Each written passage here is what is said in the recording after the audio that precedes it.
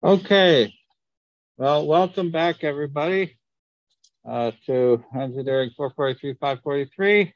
This is our third lecture. As always, I need to remind you that we're being live streamed and made available subsequently.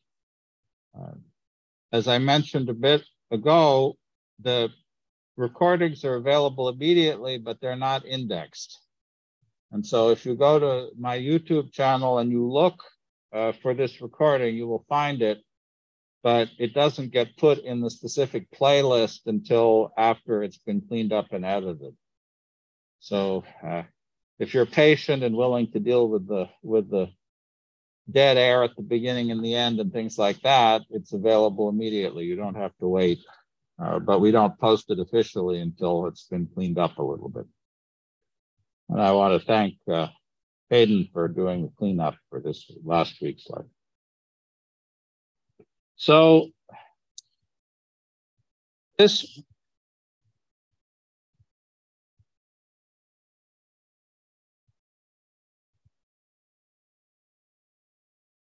this week I want to really do two things. I want to go back and have opportunity for people to talk a little bit more about projects. If people feel strongly that we can't get through to project ideas uh, on the schedule that I had originally planned. We can delay things a little bit. Again, every year it's a little bit different, and I try to adjust my uh, expectations and, and schedule based on what people asked for the year before. But of course, that means you're always fighting the previous war. And so just because it was what people wanted last year doesn't necessarily mean it's what we want this year. And so we always are willing to uh, adjust. So please do make yourselves, uh, your taste and feelings clear about that. Um, I do want to talk a little bit about uh, cell lattices, some of the things that you worked on a little bit with the homework, and uh, then come back to playing with cells. And we'll see how far we get with that.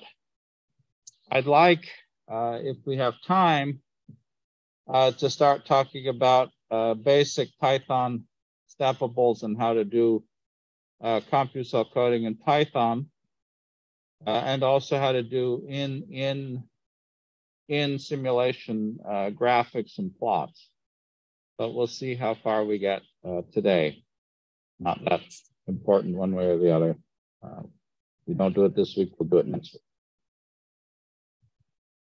So the first thing I wanted to do was actually take a little bit of time uh, for people to uh, talk about where they were with project ideas. And so to begin with, I'd like uh, people to uh, just take five or 10 minutes to enter your ideas, at least your contact information and your uh, skill set in that teaming document uh, that we have had. A couple of people have done it, but a lot of people still haven't put any material in it. So even if you don't know what you want to do, please do create an entry for yourself because if we're going to create teams effectively, we have to have that information uh, there.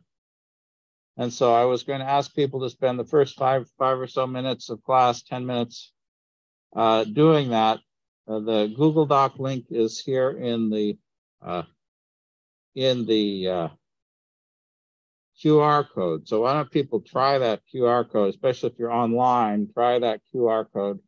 Giuliano, maybe you could put the, uh, the, the link in the chat as well. And then after people have done that, uh, I think I'd like to go around the room, so to speak, and have everybody talk just for a minute or two about where they are with project ideas.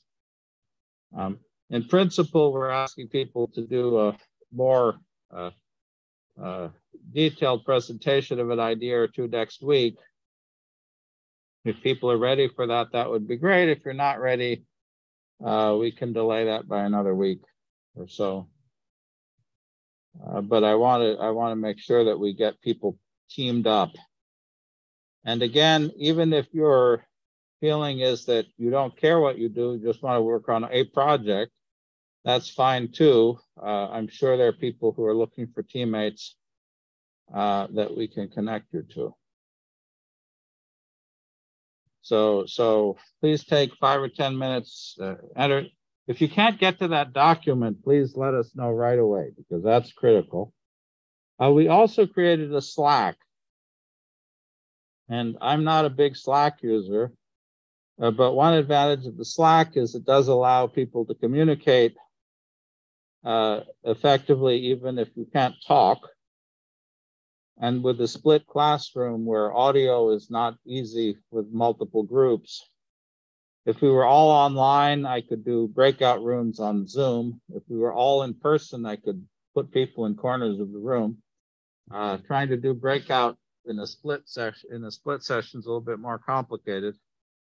And so if uh, uh, the Slack may be the best way for doing that kind of communication uh, for groups that have some people in the room and some people online. And so please check that Slack link out too and make sure that that works for you. So why don't I, uh, I give everybody a few minutes here to, to go into that document and, uh, and let me know uh, what you're thinking about. Can, can I get a sort of a thumbs up from our online people if you're able to get into that document? Yes, yes. Yes, okay. Okay, so the link works. How about the Slack? Does that Slack link work?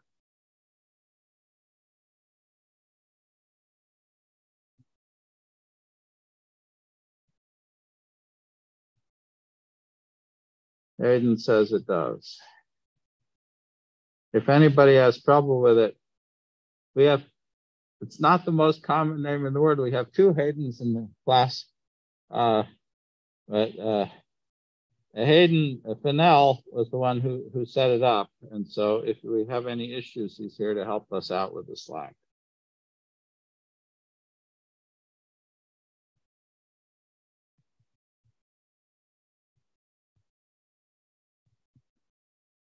And if people have any questions about what to put into that document, anything like that, um, feel free to unmute and ask or, or uh, put it in the chat either way.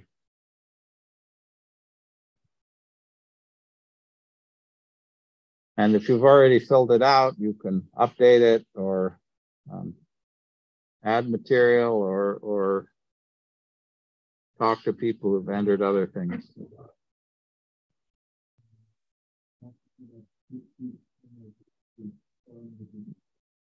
So yes, so so as I said earlier, I know some people had Giuliano given some feedback that the homeworks were pretty heavy, especially in conjunction with the uh, with the uh, project assignments.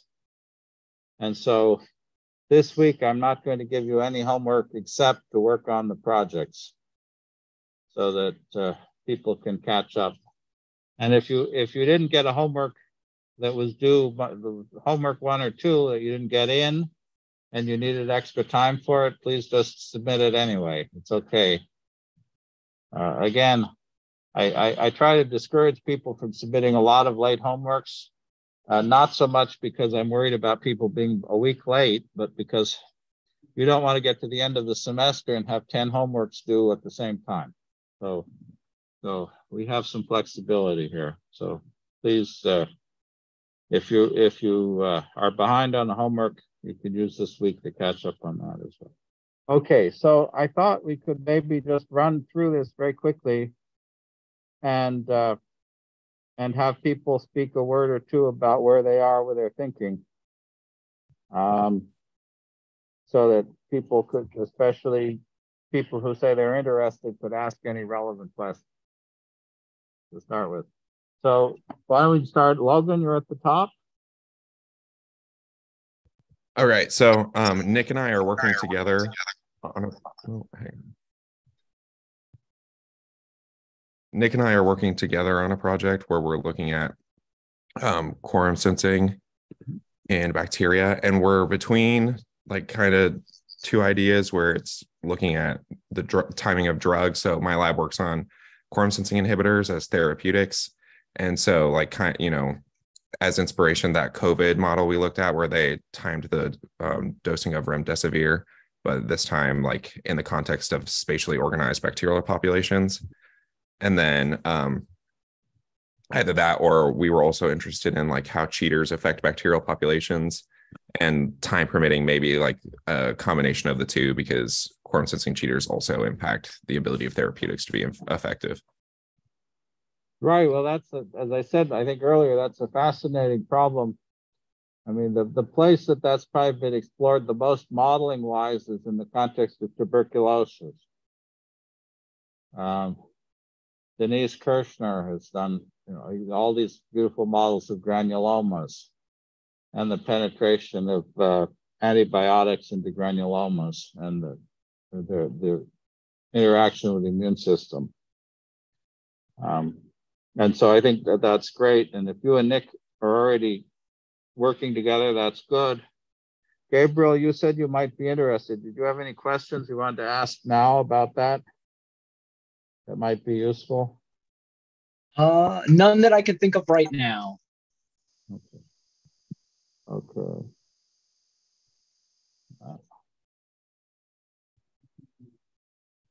Sure. Oh, actually, maybe one. Here, wait. Uh, you said you mentioned MATLAB. Are, are you guys coding the project in MATLAB, or are you planning on doing that in CC3D? Um, I so I just know that sometimes MATLAB can be useful for like graphing the results. I think if I understand it right. So I just wanted like it's something that I have like no clue how to use. Um, so that's kind of why I listed that there in case it would be useful. I didn't know whether or not it would actually be useful for the project. I just know it's a weak point for myself. So in case there is a use, I wanted someone who at least kind of knew what they were doing with that. I think yeah, I think you'll find that most most of the things you want to do analysis with exist as Python libraries. Yep. Uh, which are more com- more easily compatible with CompuCell. Not that there's anything wrong with doing post processing of your data with MATLAB, uh, but but uh, uh, CompuCell is designed to make it relatively easy to do your data processing on the fly. Yep. So so we're happy to talk to you as your project develops about that. And I'm very happy that you want to use the remdesivir model as your jumping point, since that's mine. Uh, but something that I will point out is that in your case, you're doing bacteria.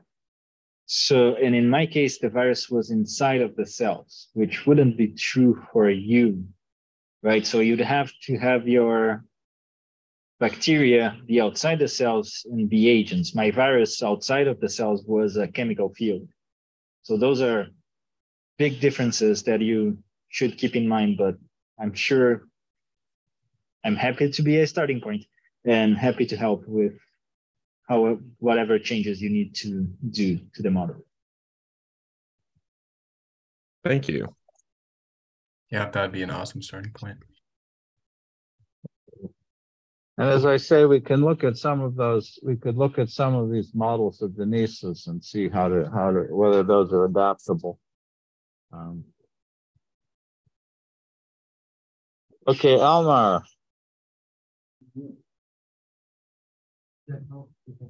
Why don't you come? Yeah, it's probably better come up here and just. Hi guys. So um, this is a very simple biological model. So it's an organoid model that more or less is only one cell type.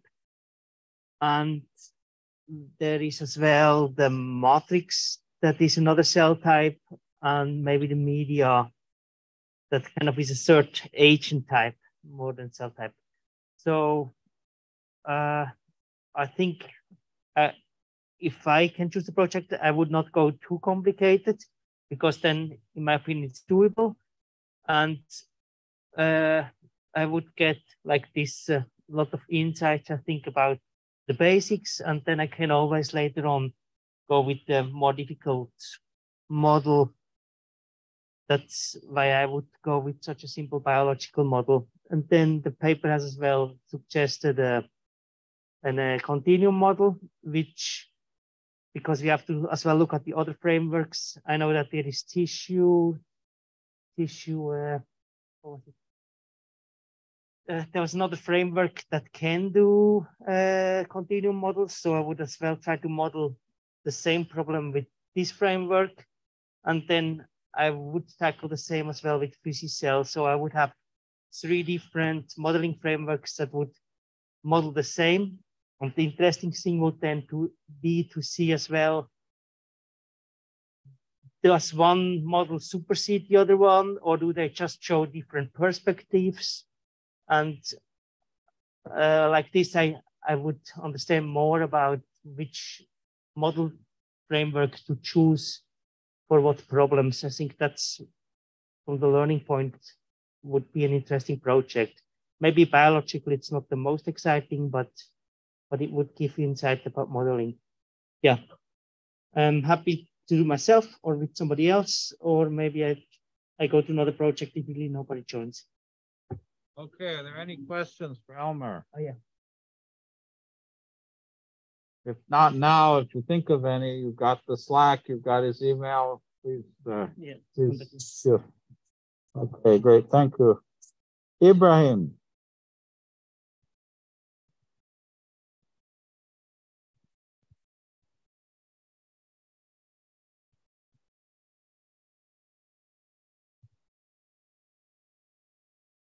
Yeah, so hey everybody. So uh, as I mentioned last week, I was thinking about doing a project where we um, focus on zebrafish embryonic development and expose it to various chemicals, but kind of trying to focus in on that. Perhaps we'll pick a certain tissue type or organ system um, that we can mimic the embryonic development of um, through modeling, and then we can expose that to various chemicals um, and see what the I guess the reaction would be. That's the goal, I guess, of the project.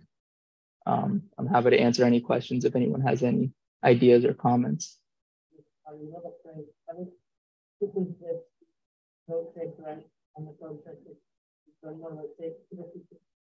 uh, not afraid it becomes too complicated in the end you get no output. That's what I'm afraid about this project. It's not it's not short and can get through it and learn. I'm just I'm I'm very afraid doing so much stuff and lost this project. Yeah, it, it does seem quite big and expansive, but um, I believe you mentioned last time that there might be some um, people who can help out with uh, zebrafish development. And if we can get a working model for any type of like organ tissue or organ system, um, it could be the most simple one as well with the least amount of unique cell types. If we can get that working, um, the chemical exposure thing should be like the same regardless of what type of organ we get working. Okay, so I have a suggestion then about that, which is my priority then for you would be to look at models of developmental stages. And they may be in zebrafish, they may be in related organisms.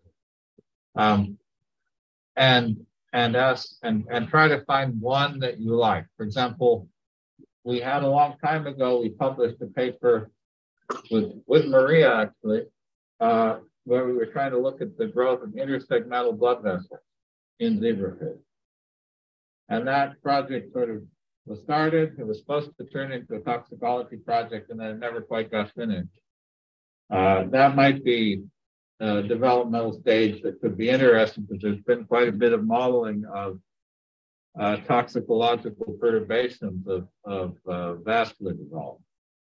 Um, we have models of somite formation in mice and chicken. Uh, in zebrafish is a little bit different. The, the, the uh, biomolecular signaling is a little simpler in zebrafish than it is in, in, uh, in mammals and in birds. Right, the segmentation of the body. And uh, um, there are models of primitive streak formation in chicks, but, that's rather different from zebrafish. Um, I think there's some nice published models of uh, neural crest cell migration in zebrafish. Um, and that might be something one could replicate. Those are Paul Kulesa's models. So I would I would say trying to model perturbations of zebrafish development, generally, Elmer's point about it being too broad is, is a good one. But if you can find a published model of a particular phase of zebrafish development uh, that's interesting, uh, and we can start from that and then ask how to perturb it, then I think it becomes a, a, a practical and interesting problem. Uh, but the key thing would be to pick. You have to be pretty narrow in your in your window, and and I would also tend to pick something that's that's inside the embryo proper. In other words, early phases of zebrafish development, where you have epiboly, where you have the whole movement of the cells over the yolk sac. Um, that's beautiful, and we're working on it, but that's actually challenging for a variety of reasons in its own, and I wouldn't recommend that.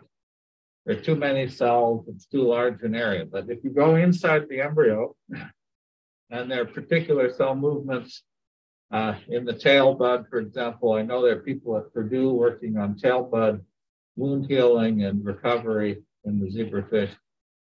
Um, there are people modeling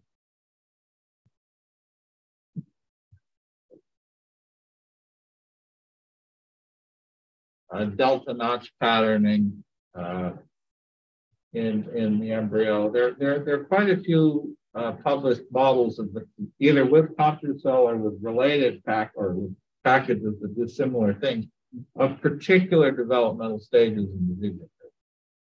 Um, and so if you can pick if you can find one or two of those as possibilities, then I think it becomes a practical problem. And then we can look at some of the toxicology papers and see how they modeled that. Now, there are a lot of toxicology papers using CompuCell, uh, developmental toxicology papers, but they mostly focus on, on mouse uh, because of the human, because they're focusing on human, uh, human relevance. But a lot of that would generalize to people, not all of it, but a lot. So I think I think the key thing there is to try to pick a find one or two possibilities. I'm happy to meet with you and, and look, do some digging and see what we can find. Sounds good. Thank you. Are there any other questions for Ibrahim while, while we have him available?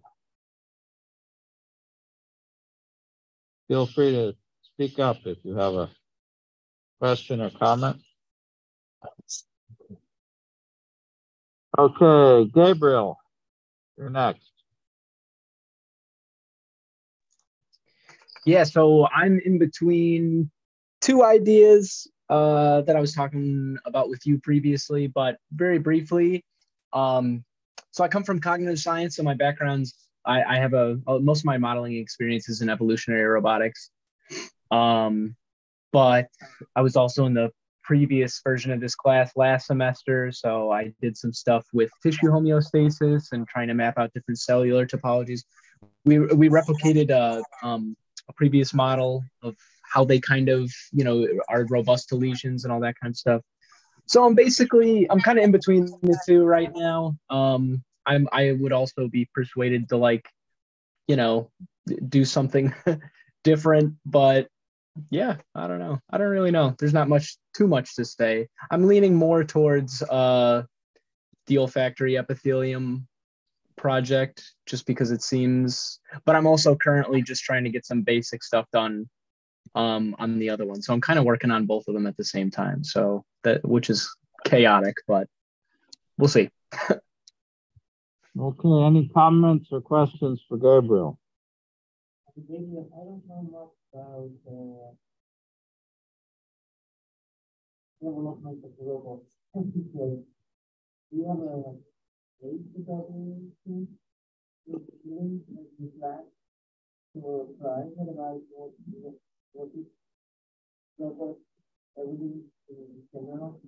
so, so that, that, since the audio may not be working so well for people, let me repeat the question. So, so Elmer asked, uh, for people who don't know about robotics and evolution, could you possibly put a link to one or two core papers in this document that could give them an orientation to that kind of question.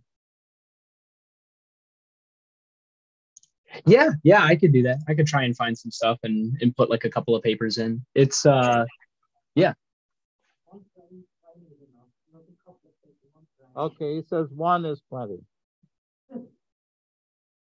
Yeah, sometimes, sometimes, you know, the, it's easier to find three than one. But but uh, for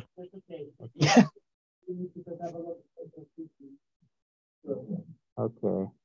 Yeah, for a topic like that, sometimes like one one paper might just be a specific thing, but but yeah, I'll try to find. I think there's got to be like some sort of review or something that's pretty good. I think I'll find something. Perfect, perfect.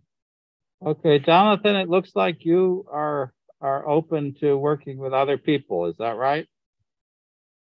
Yeah, that's right. Um, I don't really have a, a set project idea. Also, I apologize in advance uh, if my camera cuts out uh, at any point. Uh, I, I dropped the laptop one too many times and have been having a tough time since. But I, I have uh, some experience with, uh, I have a general bio background uh, in terms of uh, classes and coursework. I've completed a modeling and simulation course. I have Python background, MATLAB background. I'm very interested in doing uh, something involving the brain. Now, what that looks like, I'm not totally sure. Uh, but I was also interested in one of the papers um, talking about cell differentiation. I don't remember too many of the details. It's been a it's been a week since I looked at it, but it's it stuck out as interesting to me. Um, but other than that, I'm I'm open to working with anybody and uh, can fit in wherever needed. Very well. I think I think that's uh, people. People are looking for teammates, so you should meet with people, and you know maybe you can help push a project in a way that you find interesting and that complements your your expertise. That's great. Okay, uh, Hayden, it sounds like you also are, are open to working with multiple people. Is that right? Yeah, I my idea isn't fully formed. I still need to do some thinking about it. Okay. I know you, you talked about bone morphogenesis. That's a, it's a great project, but, but again, you know, you, it may be that you can, even if you're not working directly on the thing that you're most interested in, you can learn enough about methods and about biology that it's useful, even if it's not a perfect, a perfect match. So thank you. So, okay, uh, JH.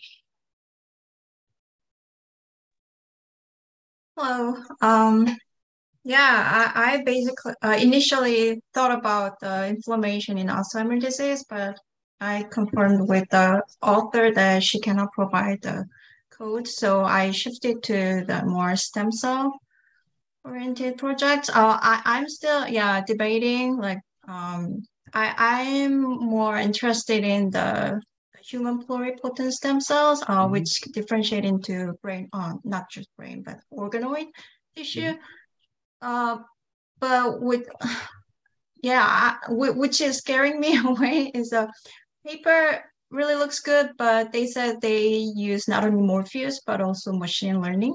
So I don't know if it is, uh, uh, possible, feasible to implement, to replicate that. So I uh, that's why I uh, entered a second project as well, uh, which is about the, the intestinal stem cells. Mhm. Um, I think it's just a chapter in the stem computational stem cell textbook, and uh, it, they demonstrated uh, how to use CompuCell to demonstrate that. So I think uh, it's easier to follow Right. up. So yeah, I'm debating. Well, that, I mean, since, since Elmer also wants to model organoid culture, maybe the two of you could talk together and see whether putting your heads together, you could find a, an interesting organoid culture problem that you could both like. I mean, I don't want, I don't want to force you to do that, but I thought it's at least possible that that, that might work. I'm, I'm actually interested in that we can you know, what I, to interesting. I think the idea was that there was a published Morpheus model that you could re-implement in CompuCell. Uh, Okay, It's a little easier to go from Morpheus to CompuCell than from PhysiCell to CompuCell because they have the same cell representation. Great. Okay. Any other questions for JH?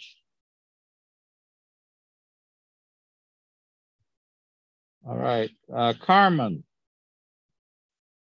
Um, so I haven't like really decided on like what direction I want to go in in terms of the project, but um, there's a couple of the cancer therapy papers I was more interested in, but I'm good with anything more like biology, anatomy focused, and like modeling. Okay, so then I, I'd encourage you to sort of circulate and see maybe you can push the project in a cancer direction. I, I know Elmer's got some cancer interests. Um, and the, the, the goal here, I know self-organization like this is painful, but uh, I really prefer people to come to their own, you know, to their own, uh, find your own way rather than to force you to force you into something. Uh, Mike.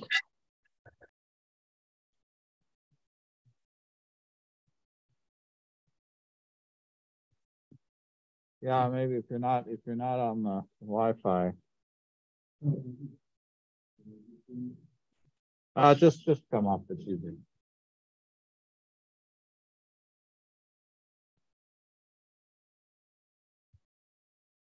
Um, okay, yeah. So I didn't really have a set idea.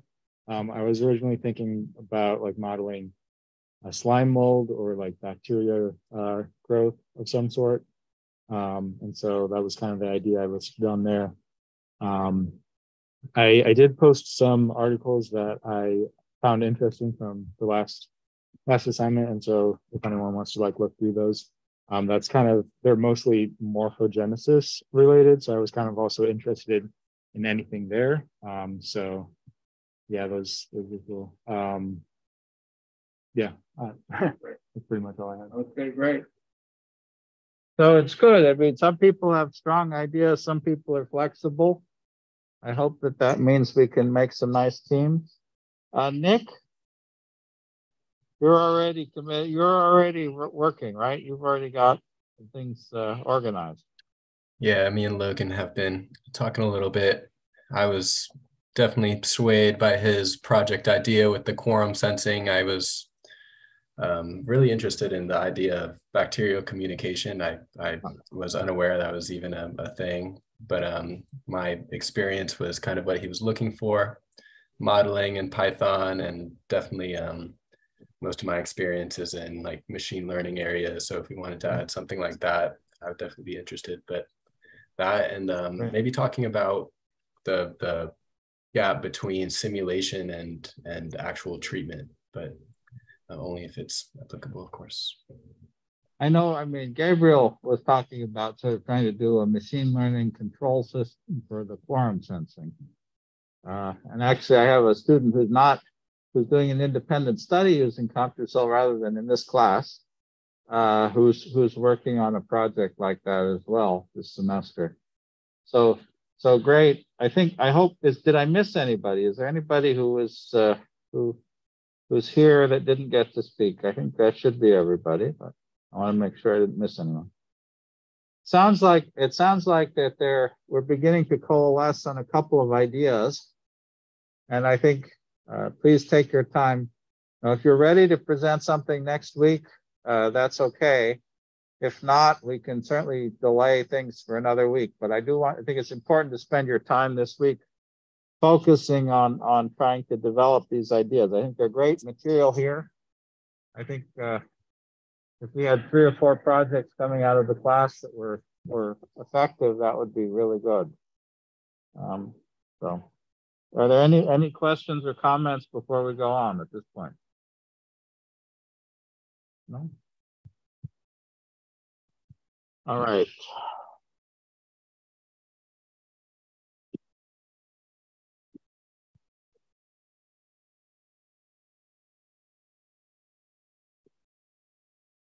All right.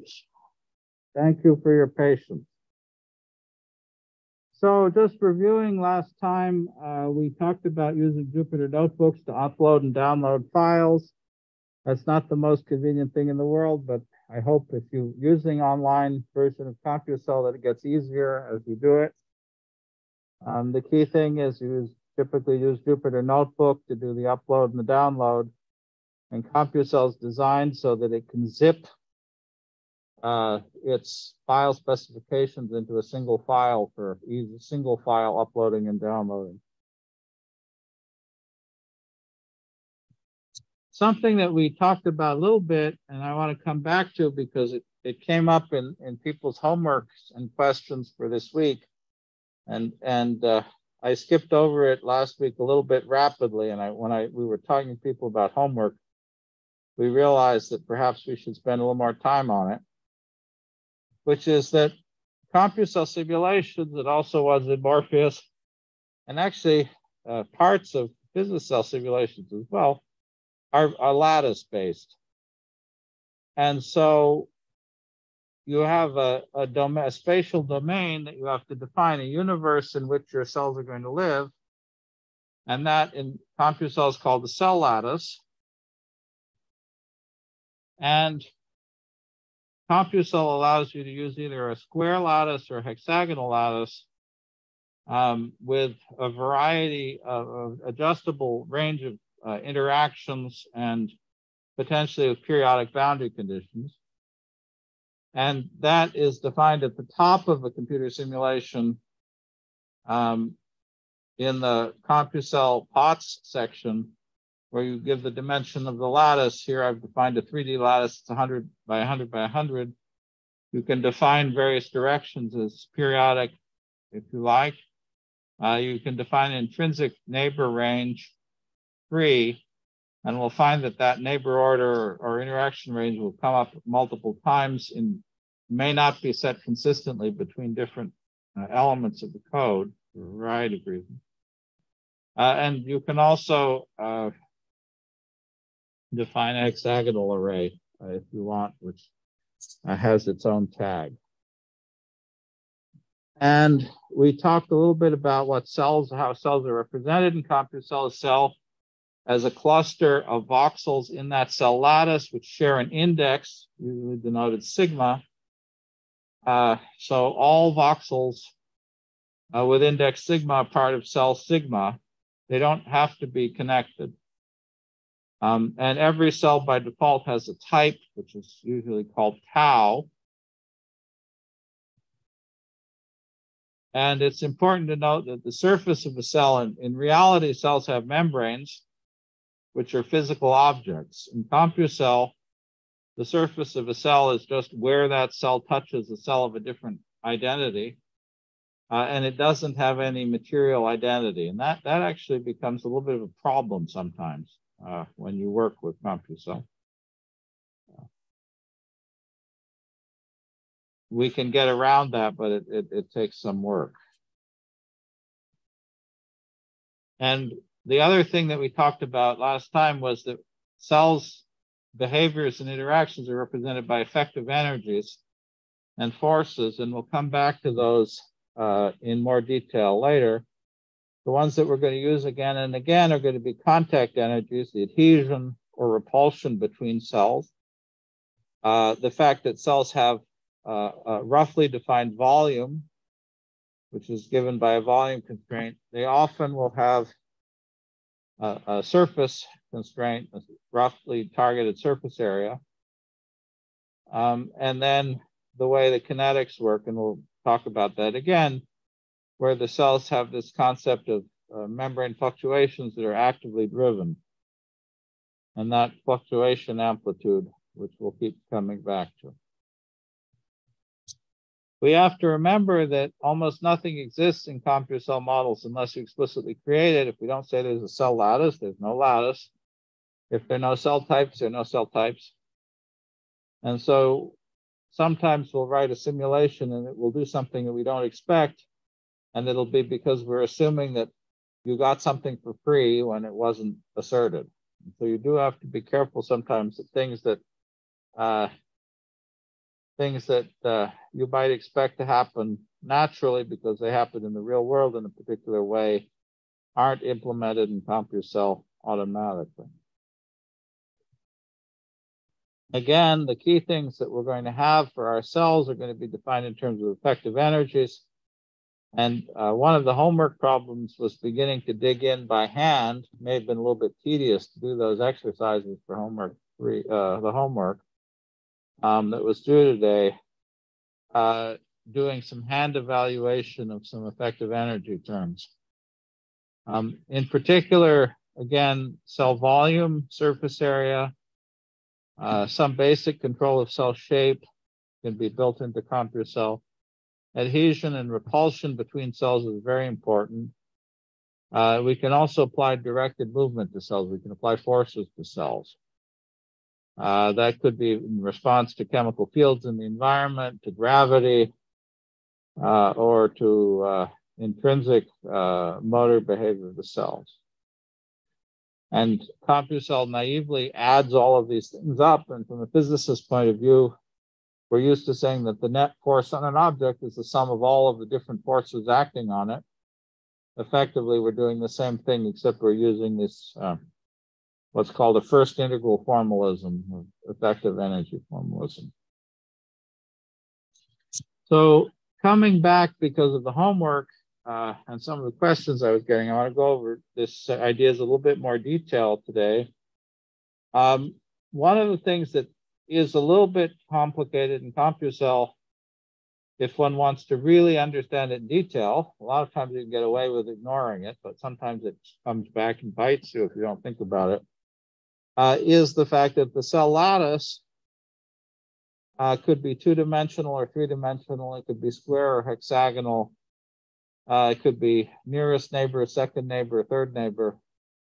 And we do need to think a little bit about what being on a lattice does to our computations. And so let's consider a single cell. Uh, we'll say it has some index sigma, and we're going to make in red all of the voxels in our lattice that are uh, composed of cell sigma. And so here we're assuming we're in a 2D simulation.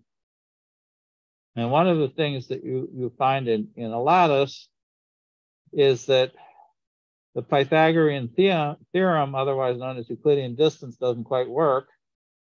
And so distances don't uh, behave according to the Manhattan metric rather than the uh, more common uh, Euclidean metrics. And that has some somewhat unexpected properties, especially when your cells are small compared to the lattice size. And you'll find that things happen like cells line up along lattice directions. Uh, boundaries of cells line up along lattice direction, Cells can get stuck. There's effectively a friction against the lattice. Um, there's actually, there's actually, uh, I was to say taxi cab geometry. There was a, I think, a mathematical games column many years ago in Scientific American that had a nice exploration of uh, some of the counterintuitive things about the so-called Manhattan metric. So I want to talk about this a little bit. Uh, I don't usually dig into CompuCell details um, that uh, so much early in the class, but again, because of the homework, I thought it would be nice to review this. People worked on a little bit, so maybe it'll be more meaningful. So one of the things that we've seen is that there is this neighbor order, and we'll find neighbor order comes up a couple of times uh, in some of our plugins. And so on a lattice, we have to define what it means for two things to be next to each other. That's not an automatic concept.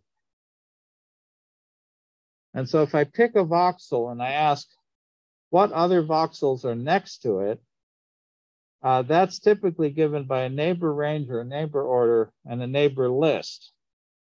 And so let's start out by labeling one voxel uh, as our initial voxel. Let's just say this is our starting voxel.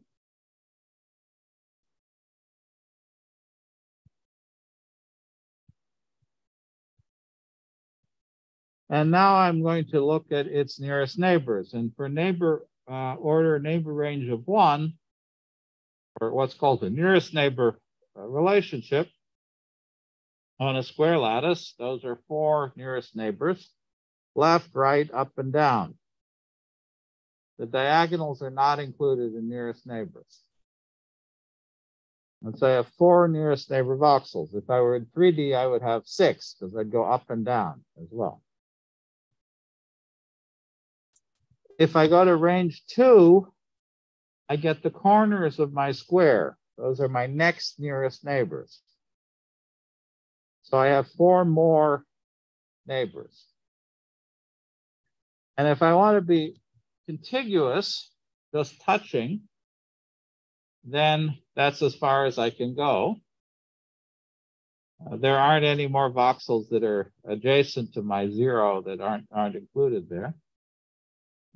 Um, and you could say, well, why would I go to longer distances? And the answer is that when you see your cell edges lining up along the lattice directions, that's happening because of what's called lattice anisotropy.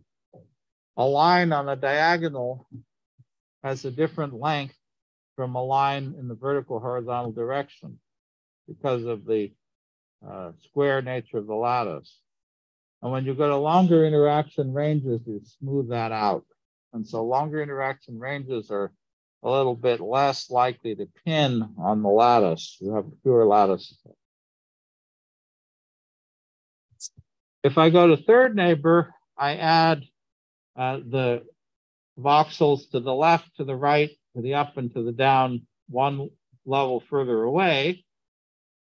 And so now I have four nearest neighbors, eight out to neighbor order two, and now 12 to neighbor order three. And if I go to fourth neighbor, I add eight. And you can see this is getting rounder. Finally, at four, you're getting rounder. And very often we'll use fourth neighbor interactions uh, when we run with CompuCell. As we make the neighbor order longer, CompuCell will run a little bit slower. There's always a trade-off between these two things. But this is something that, that uh, takes a little bit of getting used to, and I want to go over that with you together here.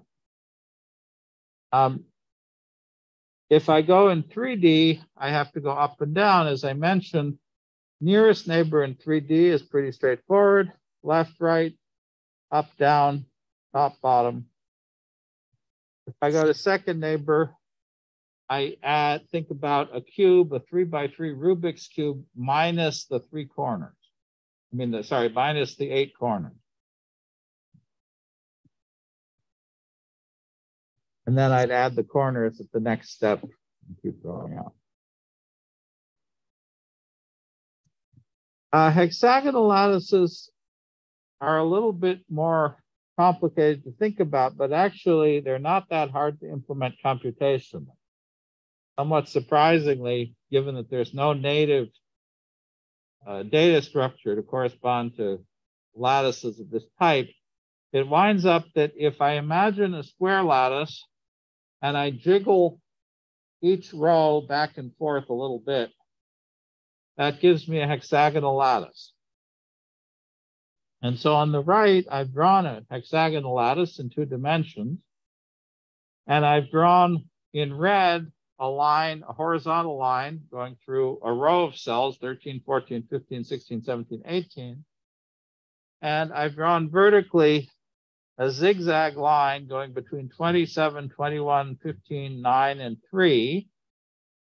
And if I move my rows 1, 13, and 25 a little bit to the right, I find that that corresponds to a nice or square array as shown here on the left. And so I can use just a regular 2D array to represent a two-dimensional hexagonal grid. What I have to worry about is that in 2D, I have four nearest neighbors for each cell in a square lattice. In 2D in a hexagonal lattice, each site has six neighbors. And so I have to add two additional neighbor identities, which here are drawn in green. So in the square lattice, site number 14 is next to 13, 20, 15, and 8. In the hex lattice, it is also next to 19 and 7. And so I have to add those two neighborhoods. All of the cells in that row with the red line in it add two additional links up and left, down and left. If I go to the next row, the one that begins seven, they also have six links, but instead of you and I have my normal four up, down, left, right. But in addition, I add up, right, and down, right. And so now my adjacency depends on whether I'm in an even row or an odd row. And so my neighbors list now alternates depending on whether I'm in an even row or my odd row of my grid. But that's all I need to do to go from square to hexagonal array. So that's very convenient. Um, Professor, have, yes, go ahead. Sorry about that, but uh, could you go back to previous slide? Um, yep. Could you use your uh, mouse pointer? Uh, sorry, but I'm not following. Um, yeah. Okay, so here's, here's the position in my lattice, 14. Can you see 14? Yes. Okay, maybe I can use the uh, Is that easier to see? Does that yes, does that dot work better? Okay, so here's 14. On a square lattice, 14's nearest neighbors are 13, 20, 15, and 8. In a hexagonal lattice, 14 is also next to 13, 20, 15, and 8. But in addition, it's next to 19 and 7, which are upper left, sorry, upper left and lower left which are next nearest neighbors in the square lattice. So the hexagonal lattice is pulling in two extra neighbors from my location. Each one of my lattice points has six nearest neighbors in the hex lattice.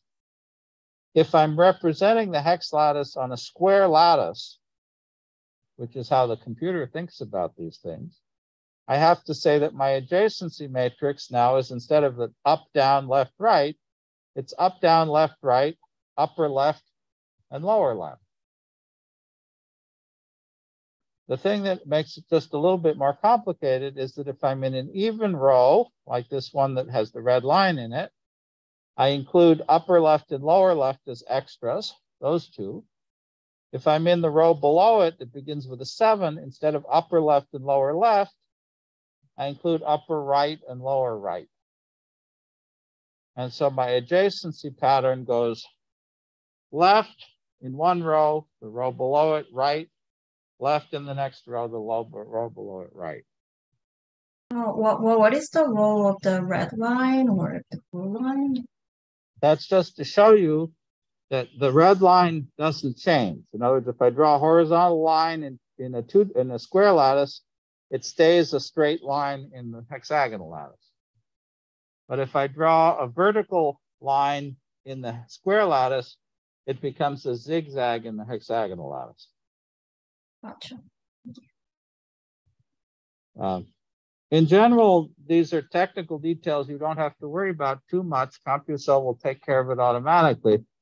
But if I want to know, for example, how to convert the volume of a voxel to real volume, or the distance in a CompuCell lattice to a real distance, then you'll have slightly different scaling factors when you go for a square and hexagonal lattice.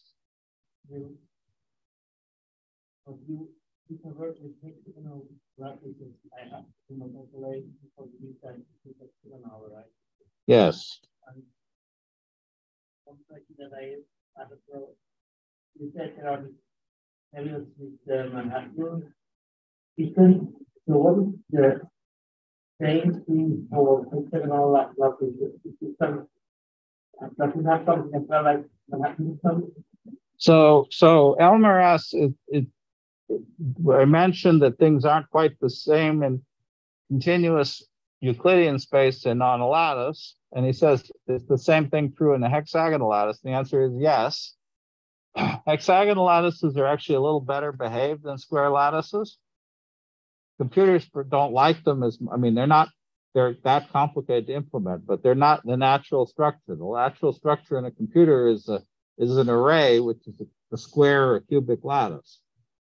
Um, so you have to do a little bit of work to make it smoother. And this particular uh, hexagonal approximation is one way to do that. A second neighbor hexagonal lattice is very well behaved uh, computation.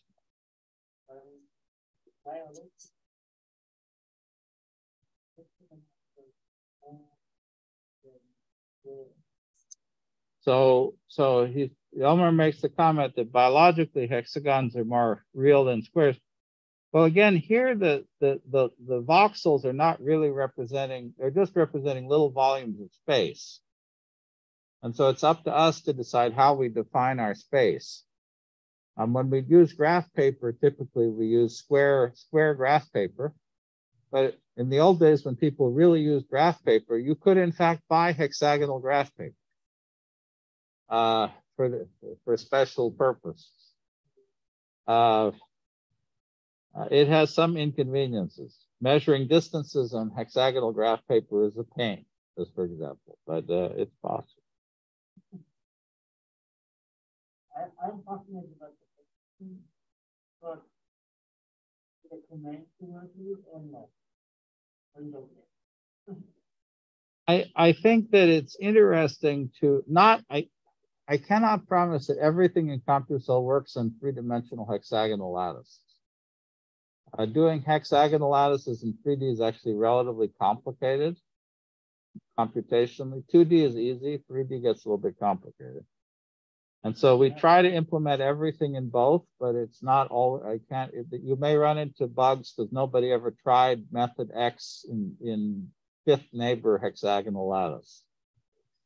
Uh,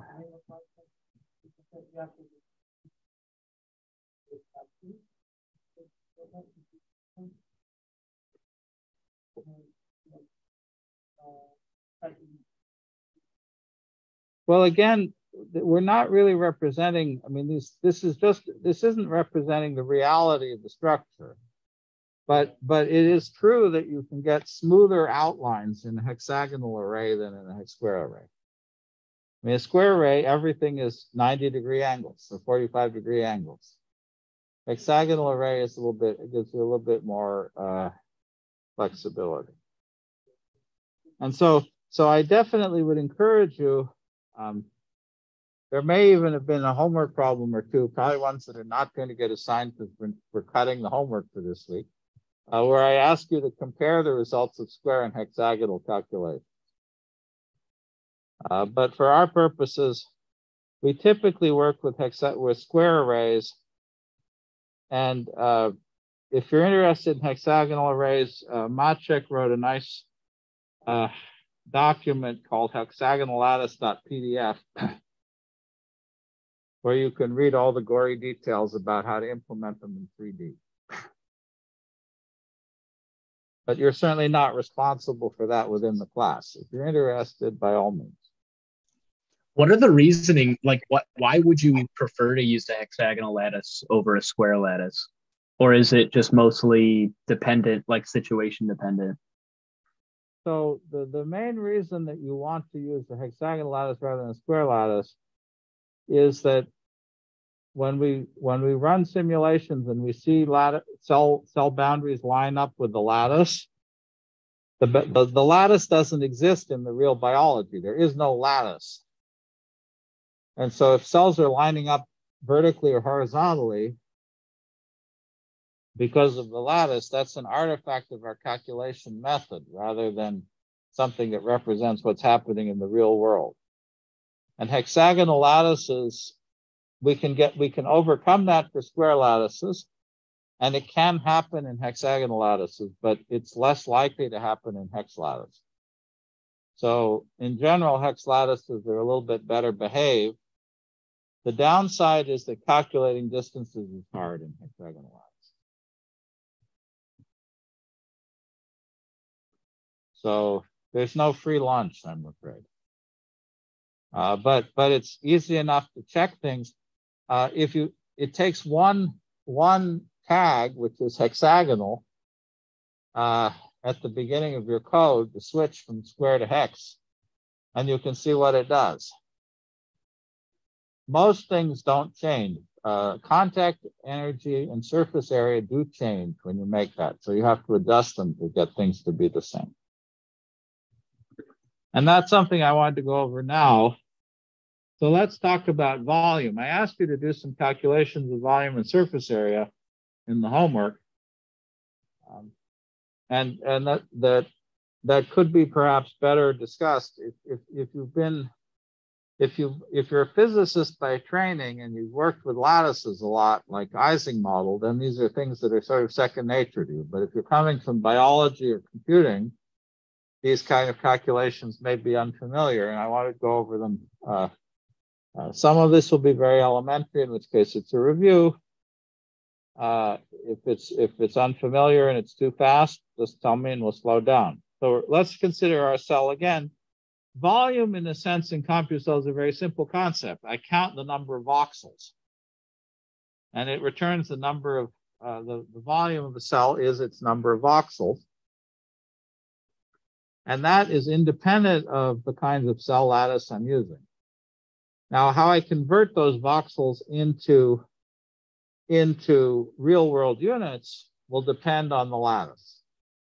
Uh, hexagonal square cells have different volume for the given side length than square cell. From square cells, obviously, if I'm in 2D, volume is really an area.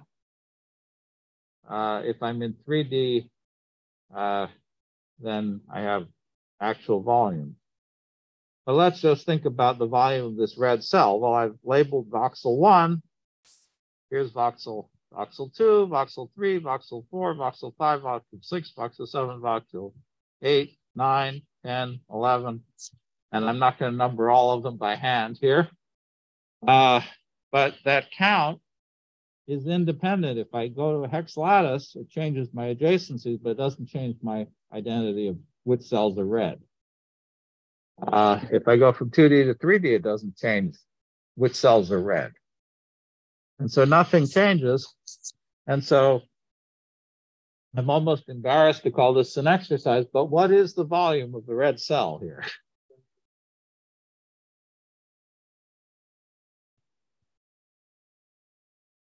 Now, Elmer immediately said 21. Uh, somebody?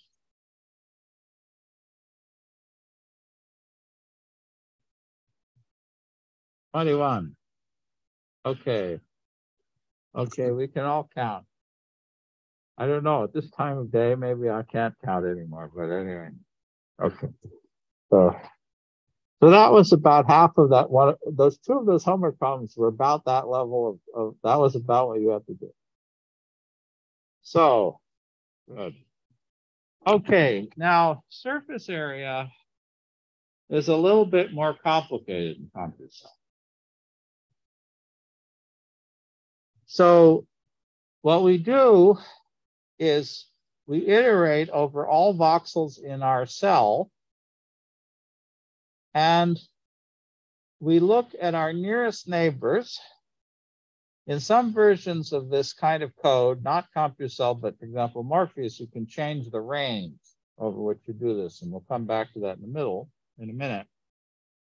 Uh, and we count how many neighbors are not in the same cell. So in this case,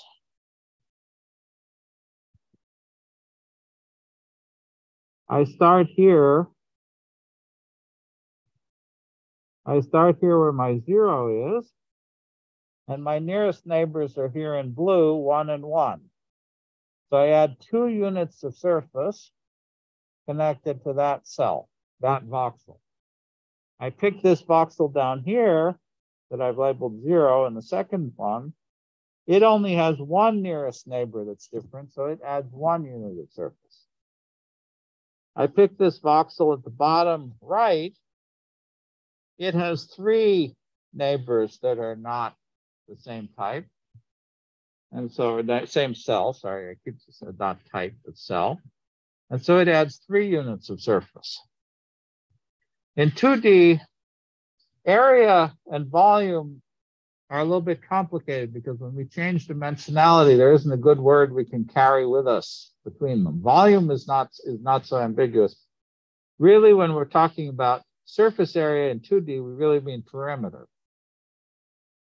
But since our basic concepts are 3D, we use the 3D name even though we're in 2D. Okay.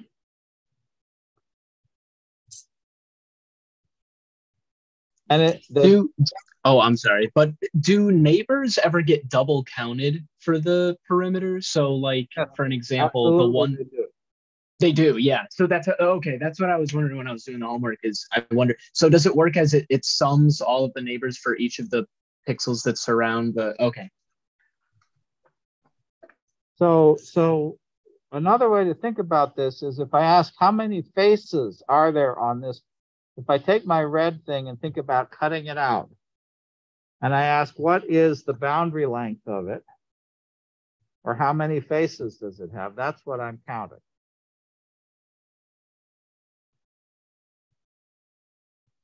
Now you can have some slightly strange things happen if you have holes, for example, in an object.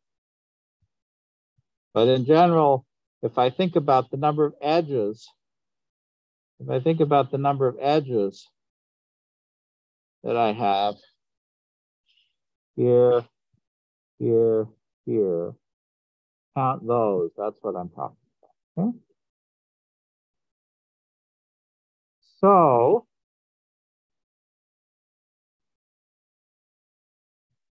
let's do that as an exercise. What is the surface area of this red cell?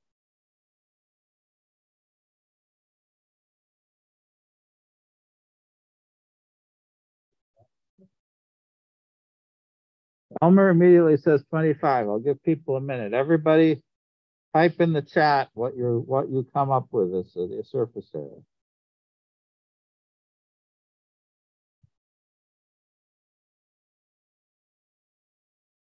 Somebody says 25, 26.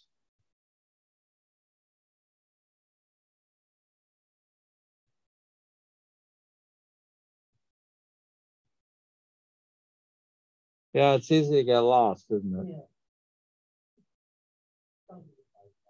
26 question mark. That's a good one.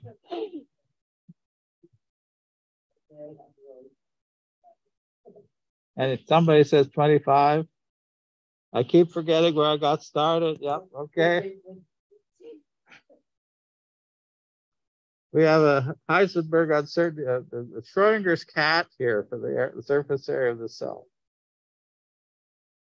Okay, anybody else want to vote? I could have had a I could have had a quiz where I had you had how many how what's the surface area? 22, 23, 24, 25, 26. I could have had a multiple choice.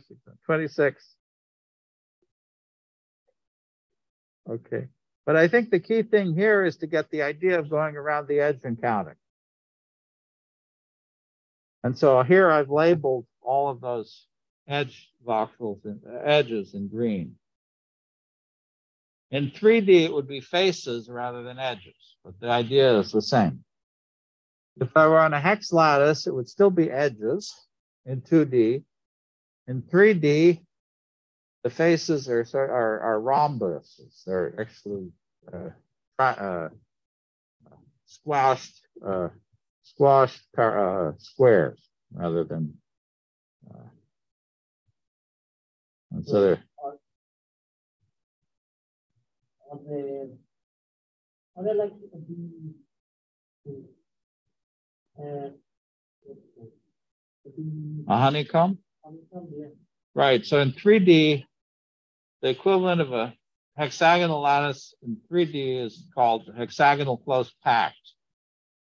And when and that gives you uh, uh, rhombic uh, dodecahedra as your shapes.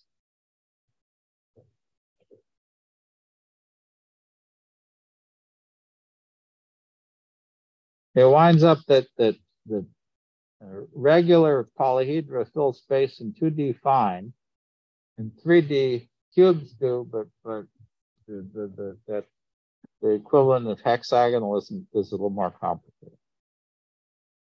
Okay, I hope that gives you some ideas about that.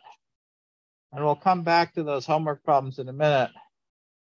Um, now that we've got a way of measuring the actual volume and surface area, now that these effective energies make more sense, I hope.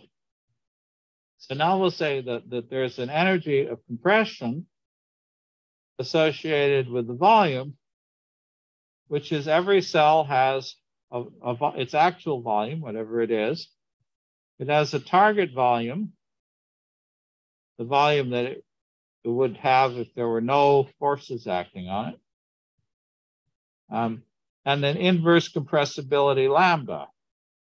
And so if the actual volume is bigger than the target volume, this energy creates a force that tends to push on the cell to shrink it. If the actual volume is less than the target volume, it creates a pressure that tends to make the cell grow. And so actually the, the, the presence of a volume term uh, in the effective energy is equivalent to saying there's a pressure on the cell that tries to force the cell to have its target volume. The surface area similarly, if the cell actual surface area is bigger than its target, there'll be a tension that will tend to eliminate surface. If the cell is smaller than its target, surface area is smaller than its target, there'll be uh, extensional force that will tend to increase the surface area of the cell. Lambda surface here is again the inverse of the compressibility of the, of the, of the membrane. And so there is a pressure which has this funny form of minus two lambda cell times the difference between the actual and target volume. And there's a surface tension, which is minus two lambda surface times the difference between the actual surface and the target surface. Yeah, Elmer.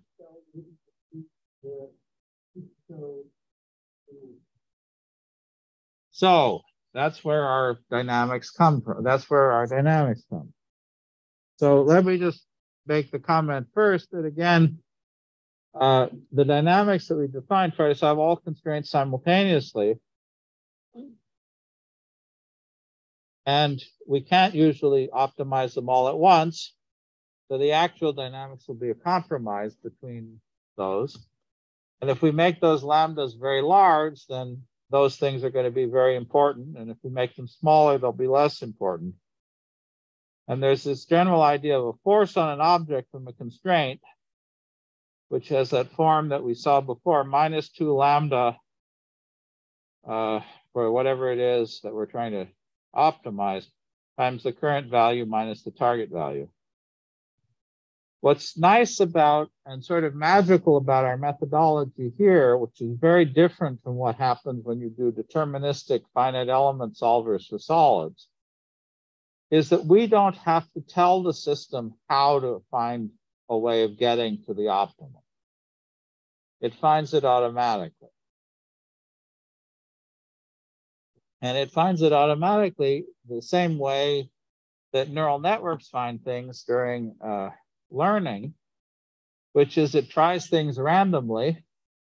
And if it gets you closer to what you're trying for, you keep it. And if it puts you farther away, you generally don't keep it.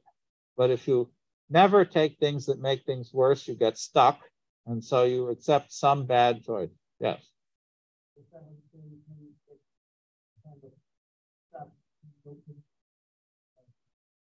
So Elmer points out that you can get trapped in local minima.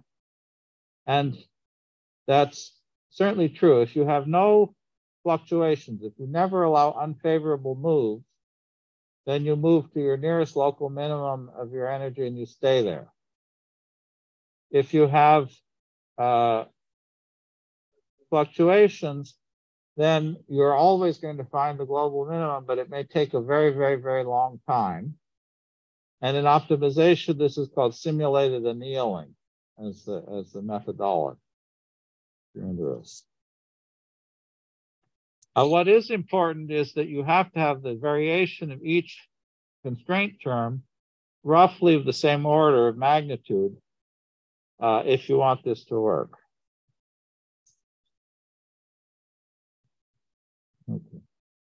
So let's look at how we specify this in CompuCell uh, in the markup language. The first thing we have to do is list the number types of cells we have.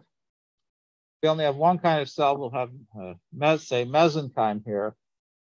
Uh, we always have a cell called medium, which is where we don't have anything going on. It's always there. So that's something we do get for free. The background, nothing we get for free. Um, and when we specify target volume, there's a plugin called volume. Uh, we say for each cell type that it has some inverse compressibility, lambda volume, and some target volume associated with it. That's great if all of our cells are going to be of type mesenchyme are going to be the same. Uh, if we want the cells to actually change, uh, so some of them grow, some of them shrink, but we don't want all cells of the same type to have the same target volume uh, or compressibility, then we have to do things in Python. Similarly, for surface area, um, we can specify lambda surface times actual surface volume minus target surface, target surface volume, surface area times minus target surface. and that translates directly into the XML that we see here. So in our homework, uh, we first assumed that the only energy in the system was the volume. Uh, we said that the target volume was 25, lambda volume was 2. And I said, what was the effective energy of the image? So does anybody have their answer from before on that? How do we solve that? Well, we count how many red voxels we have. And I think we decided the answer is 26. So that means the actual volume is 26, the target volume is 25. 26 minus 25 is 1. 1 times 2 is 2. So that means that the effective energy of this image is 2. You could certainly say 2 what, but Okay. Yes. Elmer says it's really a difference that matters rather than the exact value, and that's certainly true. Ratios and differences matter. So the second question was, what is a single voxel change to the lattice configuration that would reduce the volume energy? Does anybody have an answer for that?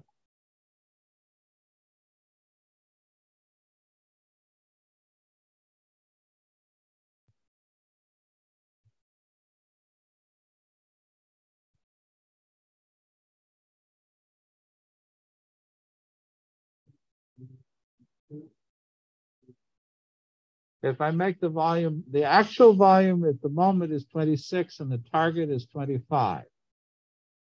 So if I make the volume bigger, am I getting closer to my target or further away? Right. So if I get rid of one red square and turn it to white, my volume goes to 25, in which case my energy goes to zero, which is the smallest it can be. So so if I get rid of one red square, any red square, that reduces the energy by one, by two. Oh, did I miscount? Sorry. I thought we said it was 26. Um, I think the surface area was 26 and the volume was 21 for this picture. Okay, thank you. Somebody please speak up. You know, if I say something ridiculous, you need to speak up. okay, so if it's 21, then what then then what is the effective energy? 21 minus 21 minus 25 is 4. 4 squared is 16 times 2 is 32. Good. So then, yes, so then adding one red voxel anywhere would reduce my energy. Going from 21 to 22, 22 minus 25 is 3. 3 squared is 9 is 18. So my energy would go from 32 to 18. Thank you. What would be a lattice configuration that had zero volume constraint energy? Well, any lat any configuration that had exactly 25 red squares would be correct. If the target volume were 15 instead of 25, now 21 is bigger than 15. And so now I'll be what I was saying earlier, which is I'll reduce the energy by eliminating red rather than adding. But notice in this case, I'm not saying where to add the red. I could add it anywhere discontiguously anywhere in the system, adding it would do the same thing. And so that's certainly not by itself going to tell you that your cell should be compact, contiguous. It's just going to say there's a certain amount of material, but not where to put it. Okay.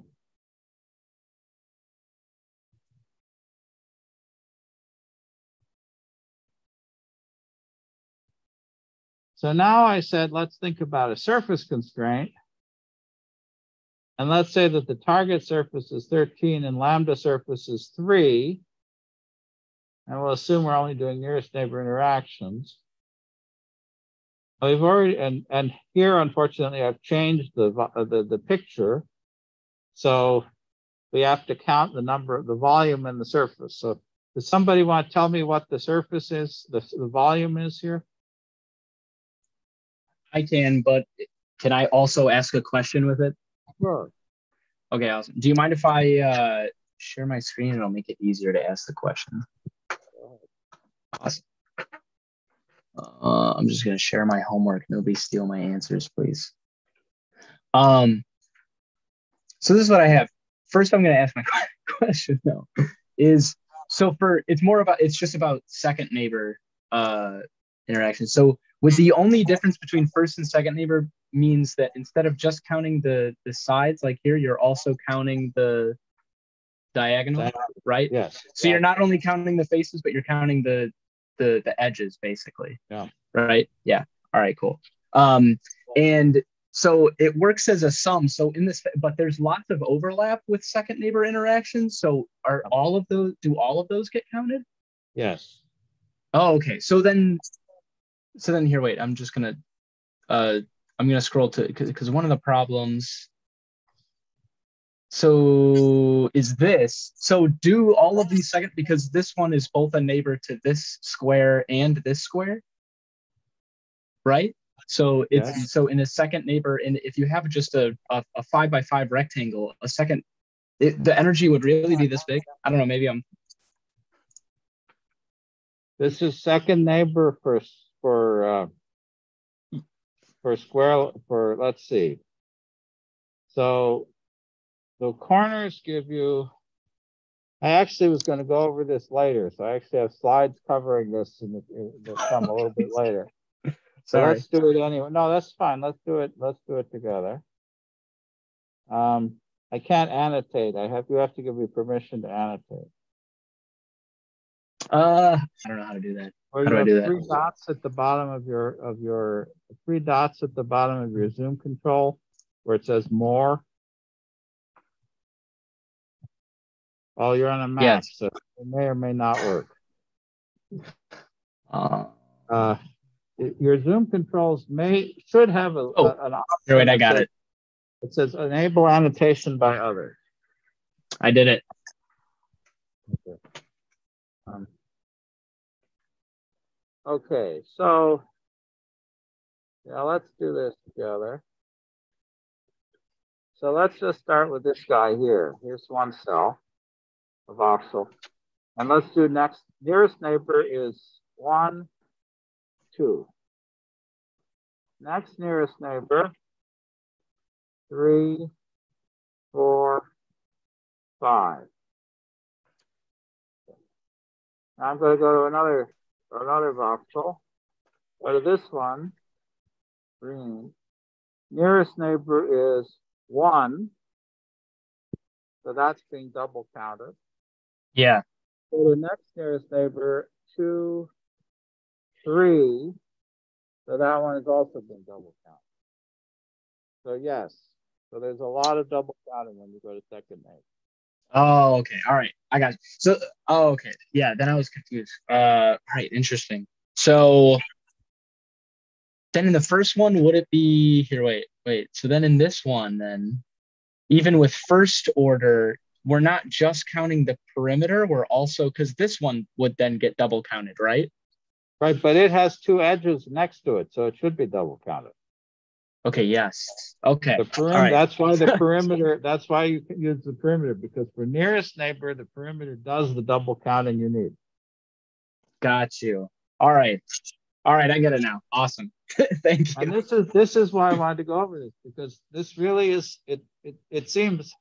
gee, What's the what's the perimeter of a, of a, of a, of a, of a polygon on a piece of paper? Well, it seems trivial, but in fact, it's not obvious how to calculate it. So I'm really glad that you're going over this, asking us to go over this, because I think it's it's not a trivial it's not a trivial thing uh, to to understand. It really is worth uh, it's worth uh, spending a little time on. So thank you very much. Okay. So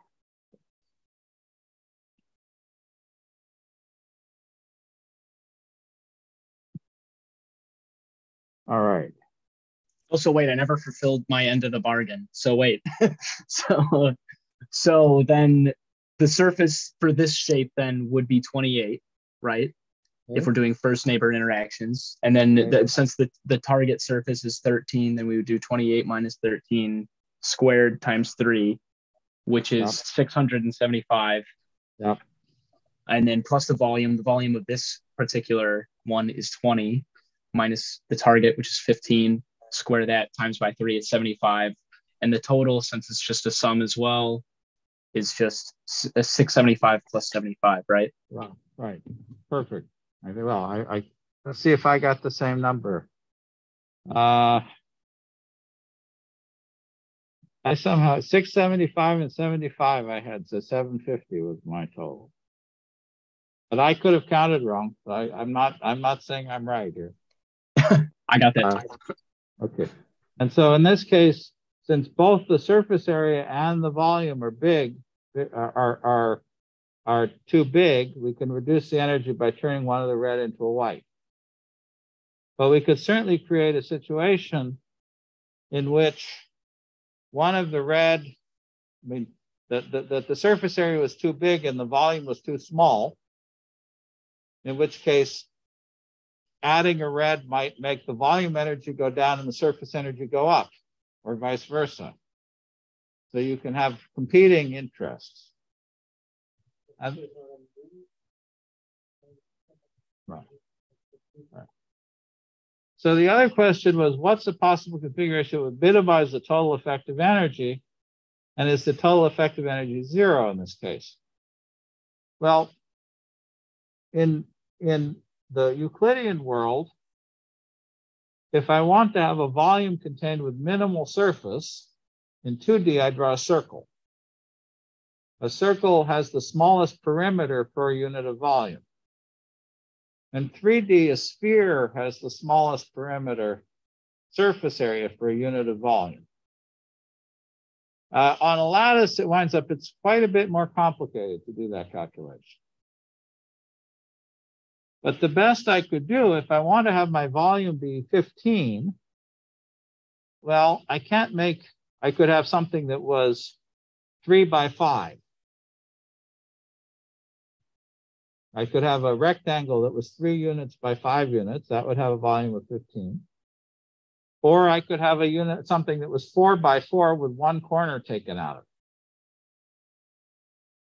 it. Um, those actually both have a volume of 15 and their surface area is six, 16.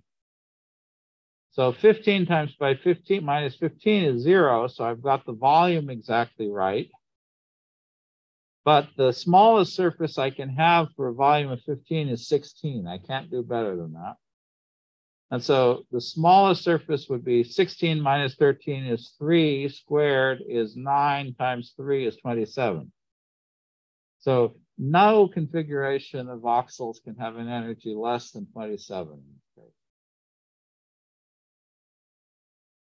And this is a case where the where the where the the identity of the lattice does change your result. If I went to a hexagonal lattice, my surface area for the same volume would be bigger because I have two more nearest neighbors. And so the calculation of volume would not change, but the calculation of surface area would change.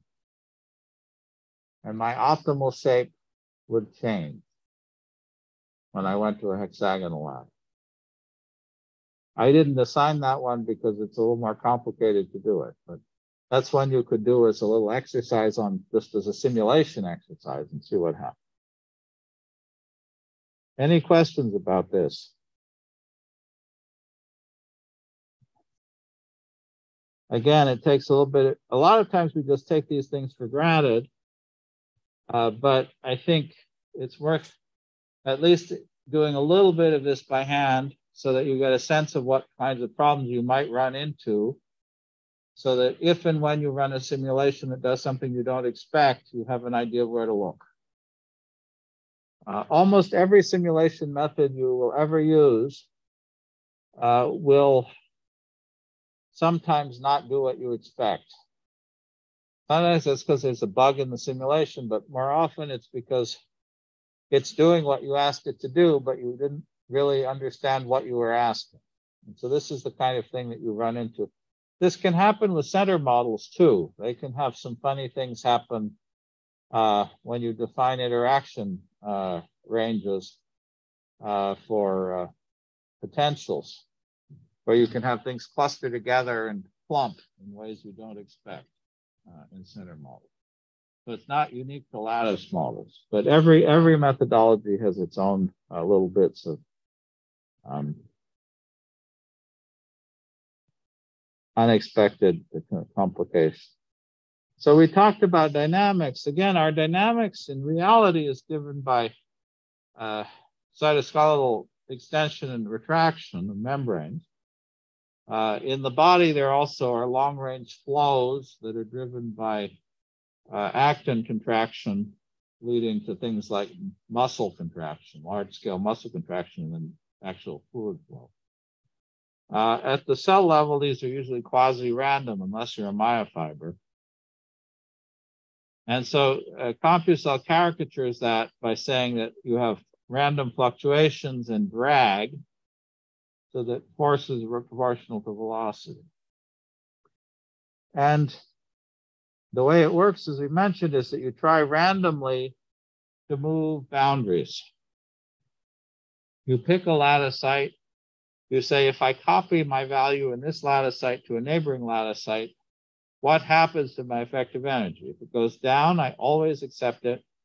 If it goes up, I normally reject it, but I have some probability of accepting it that's scaled by the energy cost divided by the fluctuation. And that has the property that my system on, uh, on average evolves to reduce the pattern energy. Now, there was a question, which is one, why does the pattern energy seem to go up often rather than down? And two, uh, what's going on with things like entropy? And one of the things that we have to remember is that this system is driven. It's not at equilibrium. We are, our cells are moving actively. Another thing that we have to remember is that uh, we are used to thinking about statistical mechanics in the context of equilibrated systems, and we're not. And so the, the, that uh, we can have local movement of boundaries to reduce pattern energy. That does not mean that the pattern as a whole reduces its energy. And there's some technical, there's some technical um, paradoxes that that would be that are of interest to physicists and probably not to anybody else in the room. They're not, they're not to the biologists and not to, not to the, um, not to the computing people. But the key thing is that you're evaluating energy changes locally, one voxel at a time. And that means that an energy change that you make here could change what happens somewhere else, non-locally. Uh, and that that uh, has has a variety of consequences both for the computational methodology and for the what's possible in these systems. Uh, in particular, uh, physics has a, a, rule that says that forces derived from a potential can have, by definition, not zero curl, but they have zero circulation. They can't be rotational. Um, and that's not true for the forces that we define here. We can define potentials that give rise to uh, forces that give rise to rotation. And the reason for that is we're not solving it simultaneously everywhere. We're solving it locally at points one at a time. And if you're a real physicist and you want to know the penalty for that, because there's no free lunch, it's that the time sequence of events gets fuzzed out in this kind of model. If you see a boundary move in one place and a boundary move in another place, uh, if they're more than one Monte Carlo step apart, you can say this moved first and that moved second. But within a Monte Carlo step, you can't say what happened before something else. And so you lose time ordering. That's the cost of being able to do rotation with a potential. Yeah.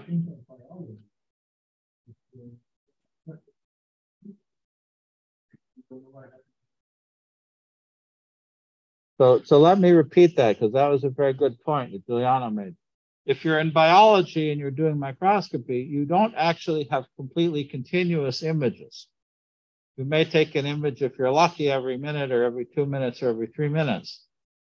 You don't have the details of how you got from one image to the next. You don't know. You have to guess what happened. Uh, in principle, you could take images more frequently. In practice, it winds up it's often not possible.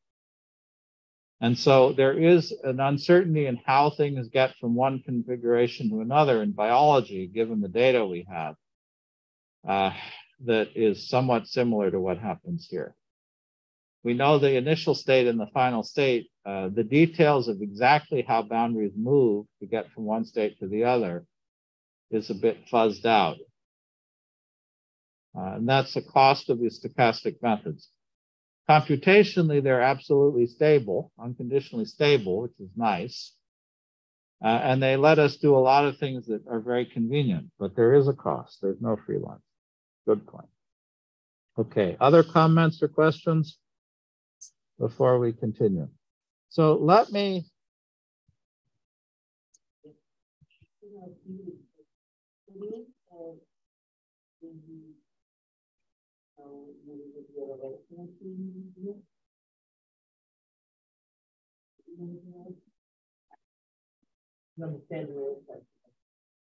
So, so constraint tries to minimize effective energy. There's a little bit complicated, so that I should probably be careful, I'm more careful about my terminology than I have been.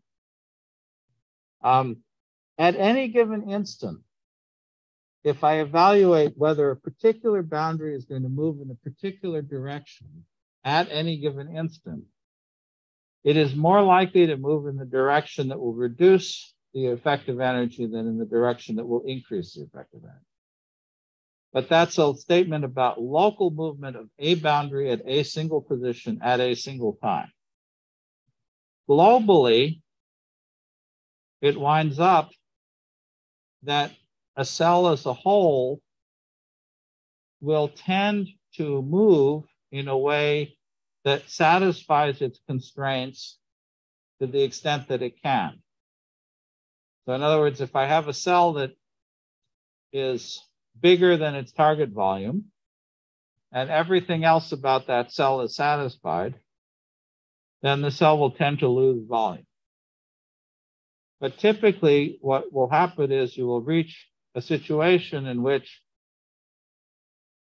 all of the constraints are partly satisfied, and the energy cost associated with satisfying one constraint costs just as much in penalty from the other. If I am in a situation where my actual volume is less than my target and my surface area is greater than my target, adding a voxel will make the volume better and the surface area worse. And so there's a trade-off.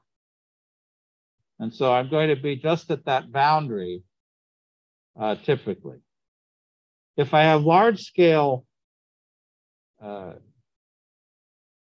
signals in my environment, for example, suppose I have a chemical gradient in my environment and my cell is chemotaxing, it will try to move towards the source of a chemical. Then the bulk movement of that cell will correspond to the effective energy will effectively behave as if the cell's in a chemical potential. But locally, uh, you see this movement towards satisfying constraints, but that doesn't mean that globally the system moves towards satisfying constraints.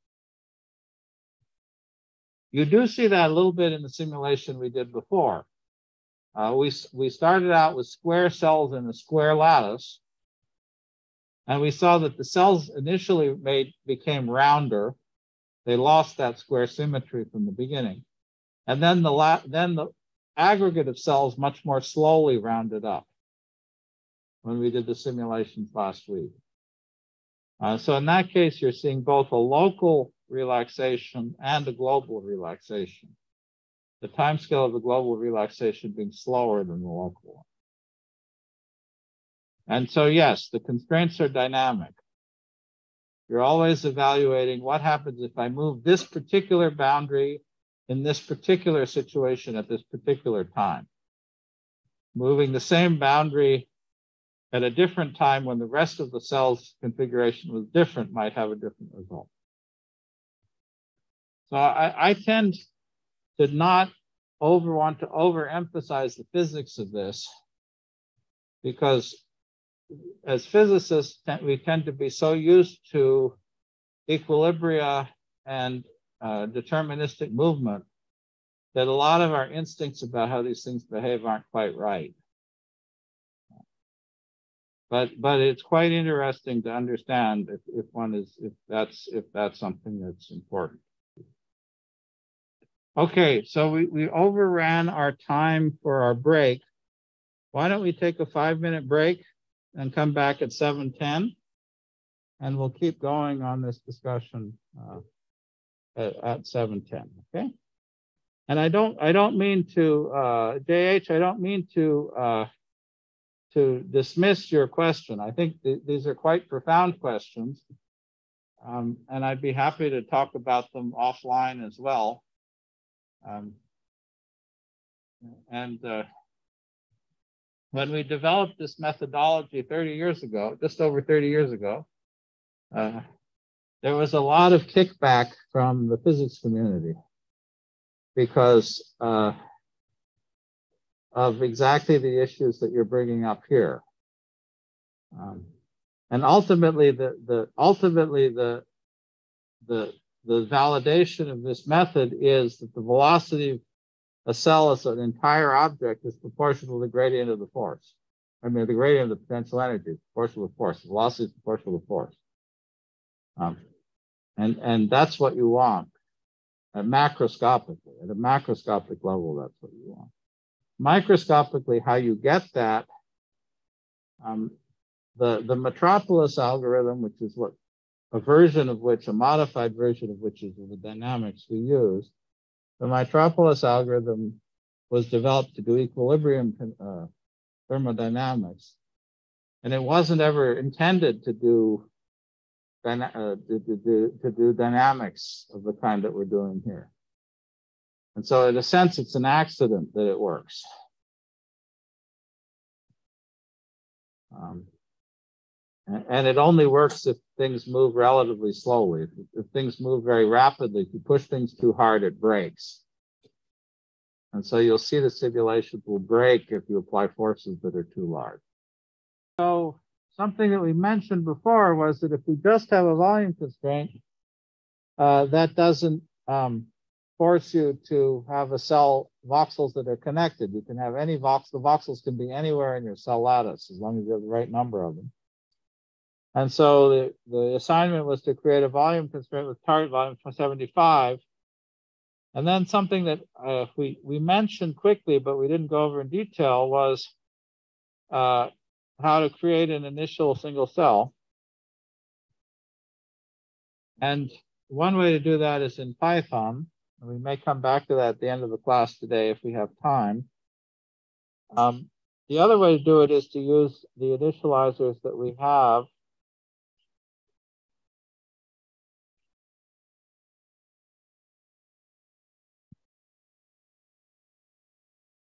The initializers that we have, the default one that's enabled is uh, uniform initializer.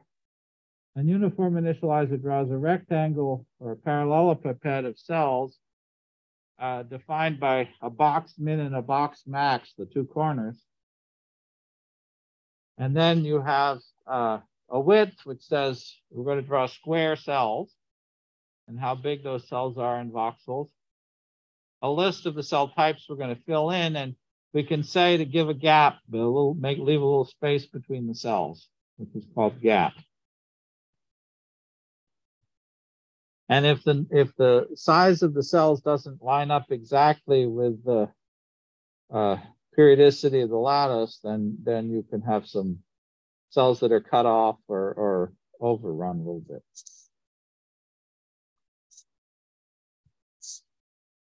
Uh, blob initializer draws a rough circle of cells and for blob initializer, instead of specifying the corners of a rectangle, you specify the center of a circle and the radius of a circle. And again, you specify the size of the cell as a square. And if you want to have space between your cells, space. And one way to create a single cell is just to say that the radius of the circle you're drawing is smaller than the width of the cell divided by two. It's not very elegant, but it works. Something to notice with steppables, uh, especially initializer steppables, is they have things called regions. You'll see steppable type blob initializer region and region. So I can define multiple regions. If I want to define five different circles in different places, I can do that. And uh, so that's convenient. Uh, the other thing is that these are actually executed sequentially. And so if I have uh, an initializer specified that writes to the same region of the lattice as the previous initializer, the later one will overwrite the earlier one. So if I did say blob initializer at the same center point and the same radius, and I said mesenchymal cell only, and then I had another region which was the same center point and radius that was epithelial only, I would get epithelial cells only because the second one will overwrite the first one. So if you have one that's in your simulation, uh, it's important to remember to get rid of it before you to, to make sure that the other ones work the way you want them. Uh, but it does mean that it won't crash, that overwriting things can actually be useful. If I want to write, make concentric circles uh, to make a, a ring of something, that, that works actually pretty well. So uh, we should have fancier initializers that let you draw better initial conditions. So if anybody wanted to write one of those as a class project, that would be fine. Okay. So the homework problem was to create a single cell with only a volume constraint. And if you do that, what you find is that the cell breaks apart because there's nothing in the simulation that tells the voxels to stay connected to each other. The voxels will wander off and they'll get dust.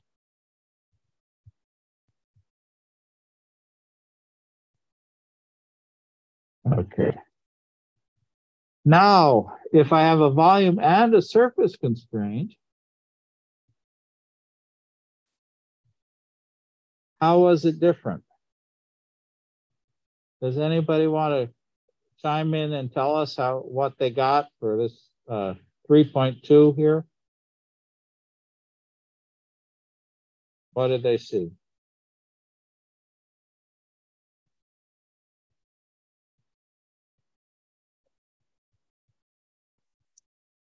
I'm not hearing, I'm not hearing a great uh, groundswell. Maybe, am I muted? Am I, am I talking to nobody? Well, People can hear me online, right? Yeah. And you, okay. Never know with Zoom. Okay, does anybody want to say something? When you have a high target volume and a, and a low target surface, what happens? That's the second question. High target volume, low target surface. What happens? Uh, I could go again. Sure, please. Uh, I I just found that, or at least what I found was that the morphology of the cell was really was kind of spherical, but it was just fixed in place, at least in my simulations, and it and it just like did not move, and it was just kind of pinned. Um, yeah, and I waited. I at least that it stayed that way for 200 time time steps, a thousand time steps, just kind of chilled there. Yep. That's that's about right.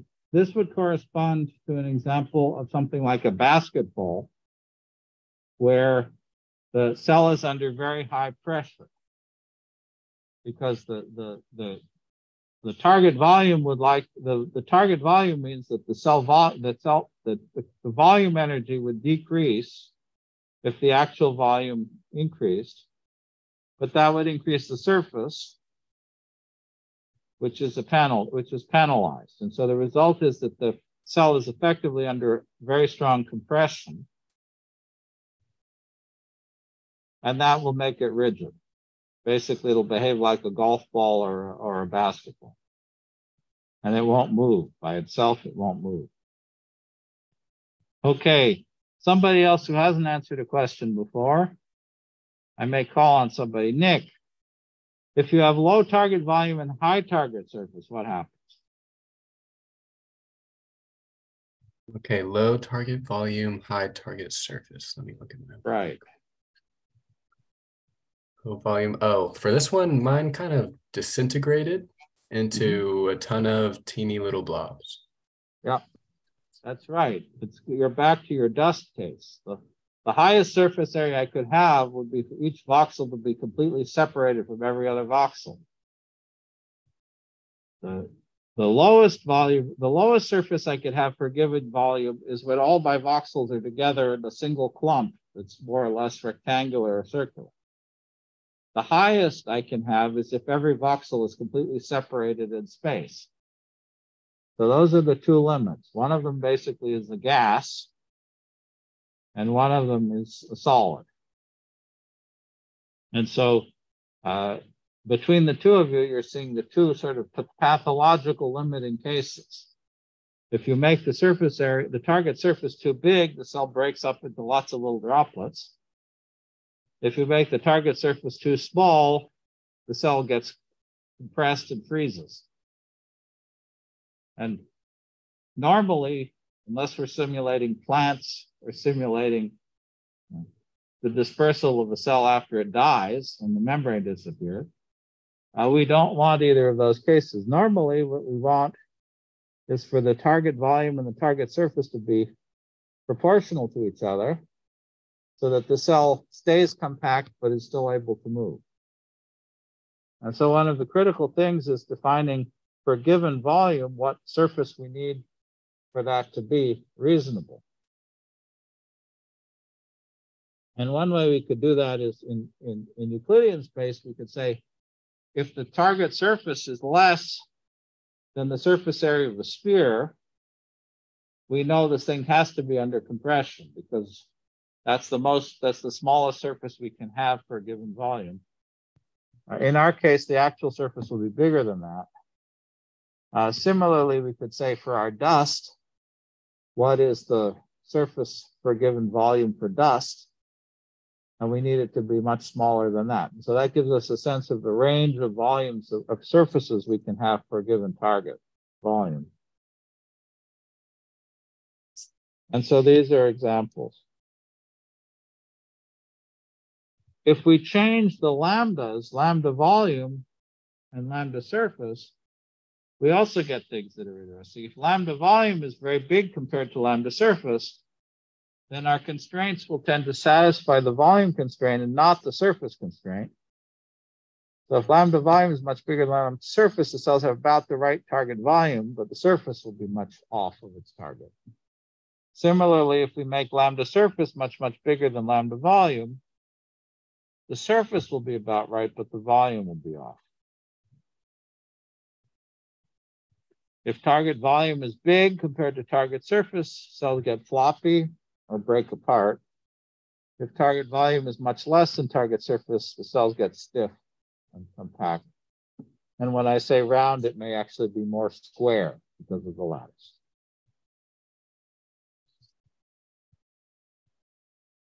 And so that comes back to these pictures that these movies that we showed last time at the during the class, where we looked at different situations and asked the question, which of these were biologically more meaningful or reasonable? And to some extent, this is really a question about the biology because sometimes cells crawl in a very orderly way. Sometimes they really do reach out pretty far and then retract. And so that second picture on the right of the cell breaking apart, uh, if I squinted, could actually be a cell that's crawling very, very rapidly. Uh, similarly, for the reorganization of a tissue, um, the one in the the third one over shows cell sorting where all the cells are behaving in about the same way. On the right, the blue cells are having membranes that are merging into each other, and the green cells are behaving as if they're stiff and under tension, under pressure. Um, if I was dealing with a plant, then the cell walls are pretty stiff. Um, there are situations in which the cell membranes get very interdigitated and floppy. So um, I have to ask the question that I want cells typically to stay connected and at least not have a lot of stray pixels. Boundaries should be fluid, but not completely crumpled. You don't want them lining up with the lattice direction. Um, on the other hand, there are cases in biology when those things happen. So it's possible that that's what you want, but typically you're going to want to stay away.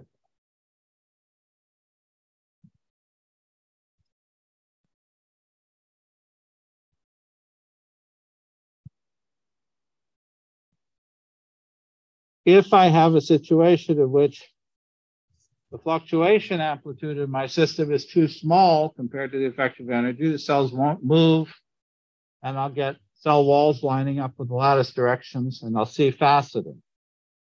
I'll see square or octagonal cells. If the fluctuations are too big compared to the effective energies, the cells will split up. You'll see lots of stray voxels, and you'll see the disappearance or crumpling of cell boundaries. And so those are pathologies that you'll run into and when you see those pathologies, it's useful to have an idea of how to fix them. What are the things that could be causing them? Okay.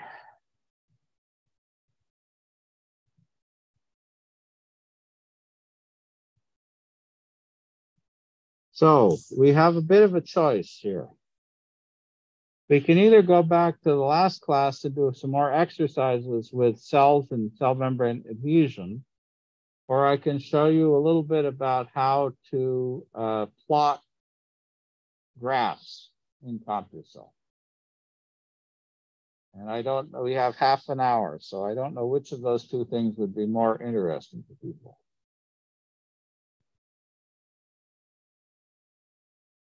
If people feel that exploring the, the cell membrane, cell, cell interactions is still interesting, we can definitely spend our last time doing that. If people would rather learn how to plot things, I'm happy to do that too. How about a thumbs up for people who would like to do plots? two, online, three, four, five. Okay, people want plots, all right. So, ah, well, shoot, I forgot something. So uh, maybe we won't get the plots today, actually. I forgot one thing that's actually pretty important that I do need to do. My apologies. So coming, before we get to plots, I want to talk about contact energies. Um, I showed this slide rather quickly, and this, to some extent, is a recapitulation of the calculation we just did calculating surface areas. Uh, but I want to go over this with you because it's, again, something which is very physicsy in the way it's written, uh, but fundamentally represents a simple biological concept, which is if I have two cells and I bring them in contact with each other, they will have some contact energy per unit area. They'll either stick together or they'll repel each other. And so uh, if I assume that the cells are uniform over their surface, which they're really not, but we'll assume that for the moment, then I can define a contact energy per unit area that depends on what kind of cell I have on either side of the contact. In reality, I probably want to say that this cell has a certain number of cadherins and so on and write the energy that way. And can, we'll show you how to do that later in the class. But to begin with, we'll assume all of our cells of type A are the same as our cells of type A, all B are D. So the energy per unit area is a function only of the cell types. And again, we have to remember that larger energies are less adhesive. And so let's actually think about that for a second. And I did a little example for us.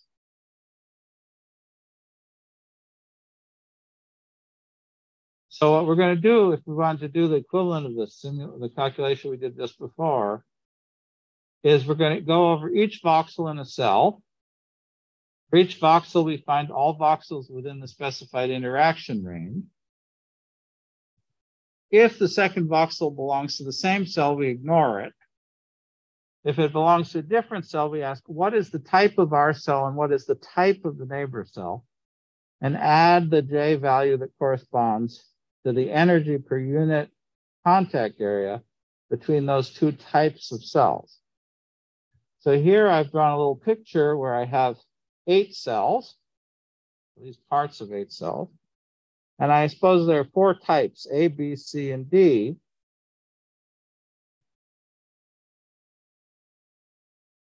And so I'm going to pick a voxel. Here I picked one in cell three.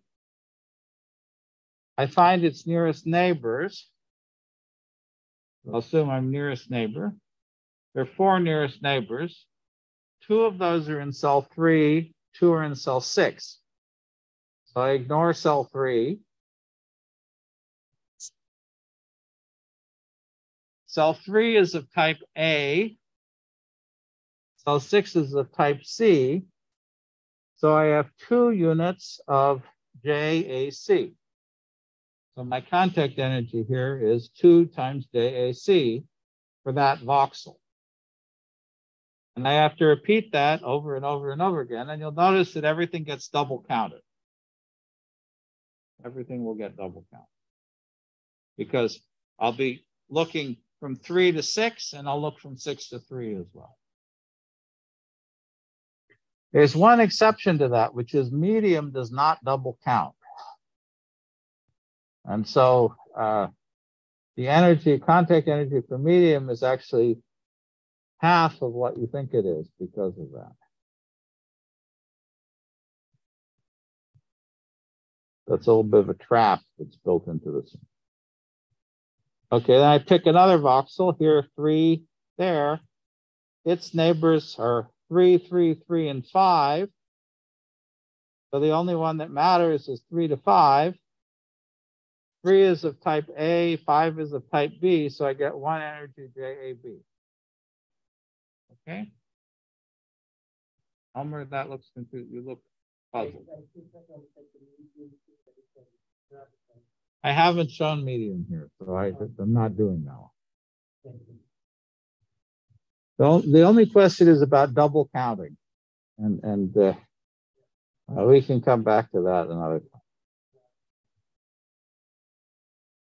Uh, if we were doing second neighbor interactions, then I have to draw my second neighbors. And so that same voxel from before now has one, two, three, four threes as neighbors, three sixes as neighbors, and a five as a neighbor.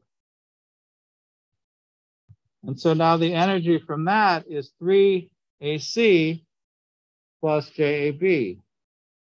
3 JAC plus JAB. So when I go to longer interaction ranges, I'm always going to get a bigger contact energy for the same configuration. Actually, I should be a little bit careful because there's no rule that says that the J's have to be positive. They can be negative as well as positive. Bigger J is less adhesive, smaller J is more adhesive. So let's think about that together for a minute. Suppose that I pick this green voxel that's number that's the white two. Um, and I, I had a little bit of an exercise. I don't want to spend too much time on it here. Uh, but let's just think about one or two of these. If I look at that two, what are its nearest neighbors? Somebody?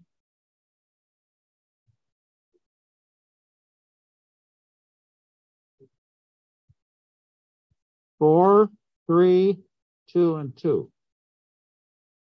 So I have one J, two, four, two is type C, four is type A. So I have one JAC, two is type C, three is type A. So I also have JAC. So I have two JAC.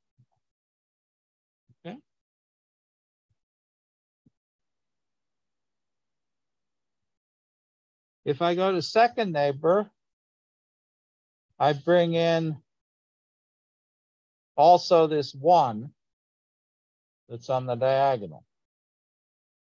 If I look at my three here, this three nearest neighbors next to three, three, five, and five. If I add second neighbors, it adds a four. And so not only the length of the boundary goes up as I go to longer interaction ranges, but potentially I'm interacting with more different cells. And if I went to a very long interaction range, like four or five, and my cell were very small, I could actually interact with a cell that I don't touch directly as a nearest neighbor thing at all. Suppose I had a thin strip of a cell, my interaction could jump over that cell and touch the neighboring cell.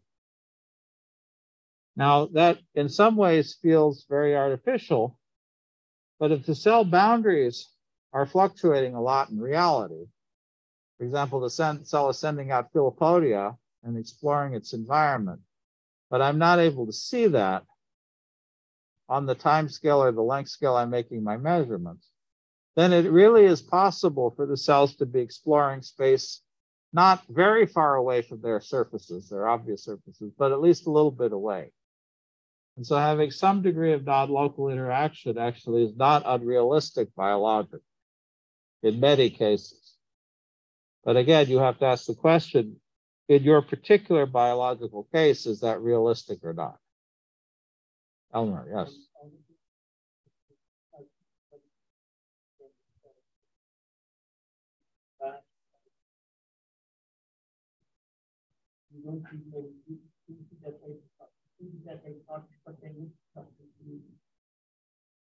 So, so Elmer points out that one problem which was noted in the 19th century novel Flatland uh, is that in 2D, you can't have things reach around other things. And so in particular, there, there, you can't have two interconnected networks that penetrate space. in two dimensions. In 3D, I can have veins and arteries that are both connected and both fill space, and they move through the gaps between each other. In 2D, I can't do that. I can only have one connected network, one connected tree. And so the ability for things to touch each other is much greater in 3D than in 2D. And so uh, that that potentially means that 3D simulations actually, while they're slower, they're a little bit softer and a little bit better behaved than 2D simulations. Freezing on the lattice and a lot of the uh, hitting effects that you get in 2D are less severe in 3D. But they do run a lot slower because the simulation time is proportional to the number of voxels. And clearly, a 100 by 100 by 100 lattice has 100 times more voxels than a 100 by 100 lattice. So there's a cost to that. That's a good point. Okay. So one thing that we're going to face is it would be nice if CompuCell would automatically rescale our J values when we change the interaction rate. The problem is that if we do this calculation in detail, and we're not going to have time to do it today, and I'm not going to assign it as a homework problem, it was would have been a homework problem, uh, is that the way those scalings work depends on the size and shape of the cells. And so there is no universal way to say you go from nearest neighbor to second neighbor and divide your J's by two you actually have to, you can approximate what would happen because if I go from nearest neighbor to second neighbor in a square lattice, nearest neighbor has four, second neighbor has eight. So I'd expect to divide J by two to keep things the same. And it's not way off, but it's not going to be perfect because it's going to depend on the geometric details of the system. And because it's not exact, we decided it was safer to have people warn people that this happens and have them do it themselves rather than build in a, a correction that's not always correct. Uh, maybe that was a mistake, but that's uh, that's how it works. Okay, and so uh, one of the things that comes up uh, is that uh, scaling on what we call Manhattan met Manhattan metric, that is on lattice distances. Um, if I have in Euclidean space, if I have a square of side length L, its area goes like L squared, its perimeter goes like 4L. If I have a circle, its area goes like pi over 4 d squared. Its perimeter goes like pi d. Similarly for cubes. And if I look at the ratio of the area, the square root of the area to the perimeter, or the cube root of the volume to the square root of the area, those are numbers that are a function of shape only and don't change as I change the radius. On a lattice, that isn't true. In particular, uh, the, the rules that we've defined for a lattice uh, give us uh, a lot more surface per volume for small things than we would expect. So let's just uh, let's just imagine we have. Well, I'm, I'm not going to make us do this exercise. You can play with this uh, but you'll find that the way the surface to volume ratio scales on a lattice is not what you get in Euclidean space. When the object gets big, compared to the lattice size, it works. But for small objects, the scaling is not what you expect. The surface areas are bigger than you would expect.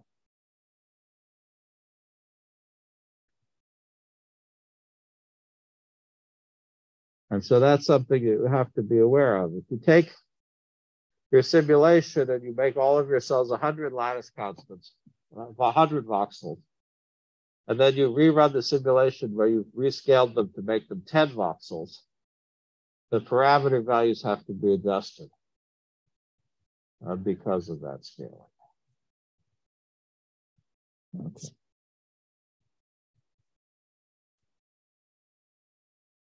As a reminder, uh, the contact energies are defined in a plugin called contact.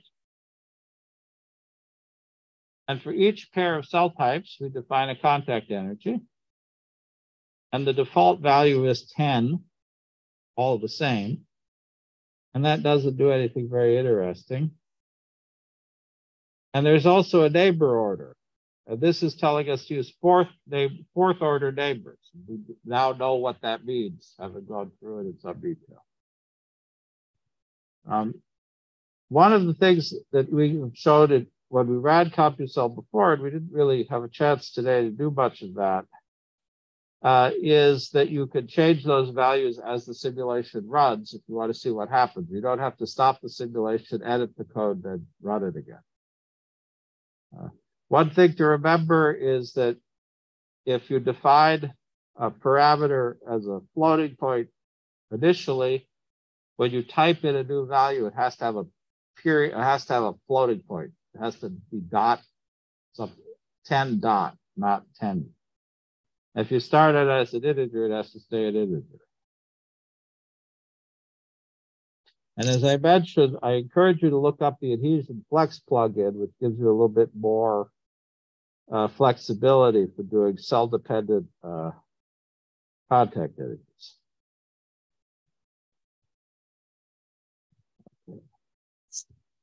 And we did some playing around with different contact energies and surface energies to make cells coalesce, to separate, uh, to make the cell clusters rounded, uh, to make the cells individually round.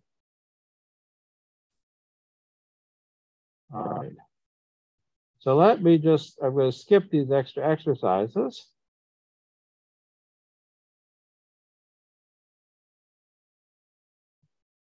I want to talk a little bit about cell shape.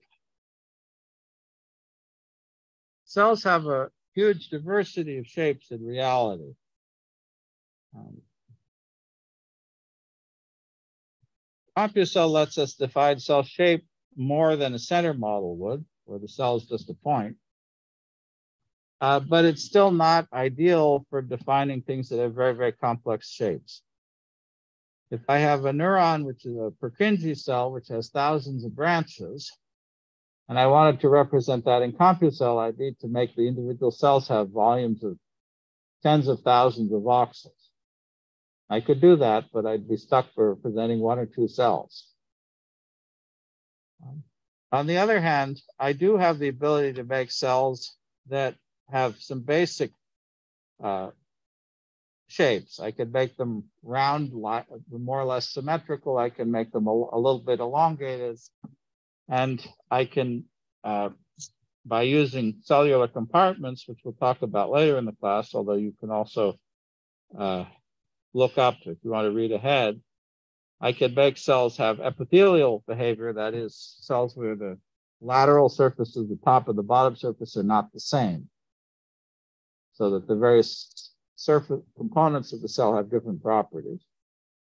Uh, and I can also do things like I can string uh, subcells together in a line, like beads on a string, to make something that behaves more like, say, a bacterium or a sperm cell.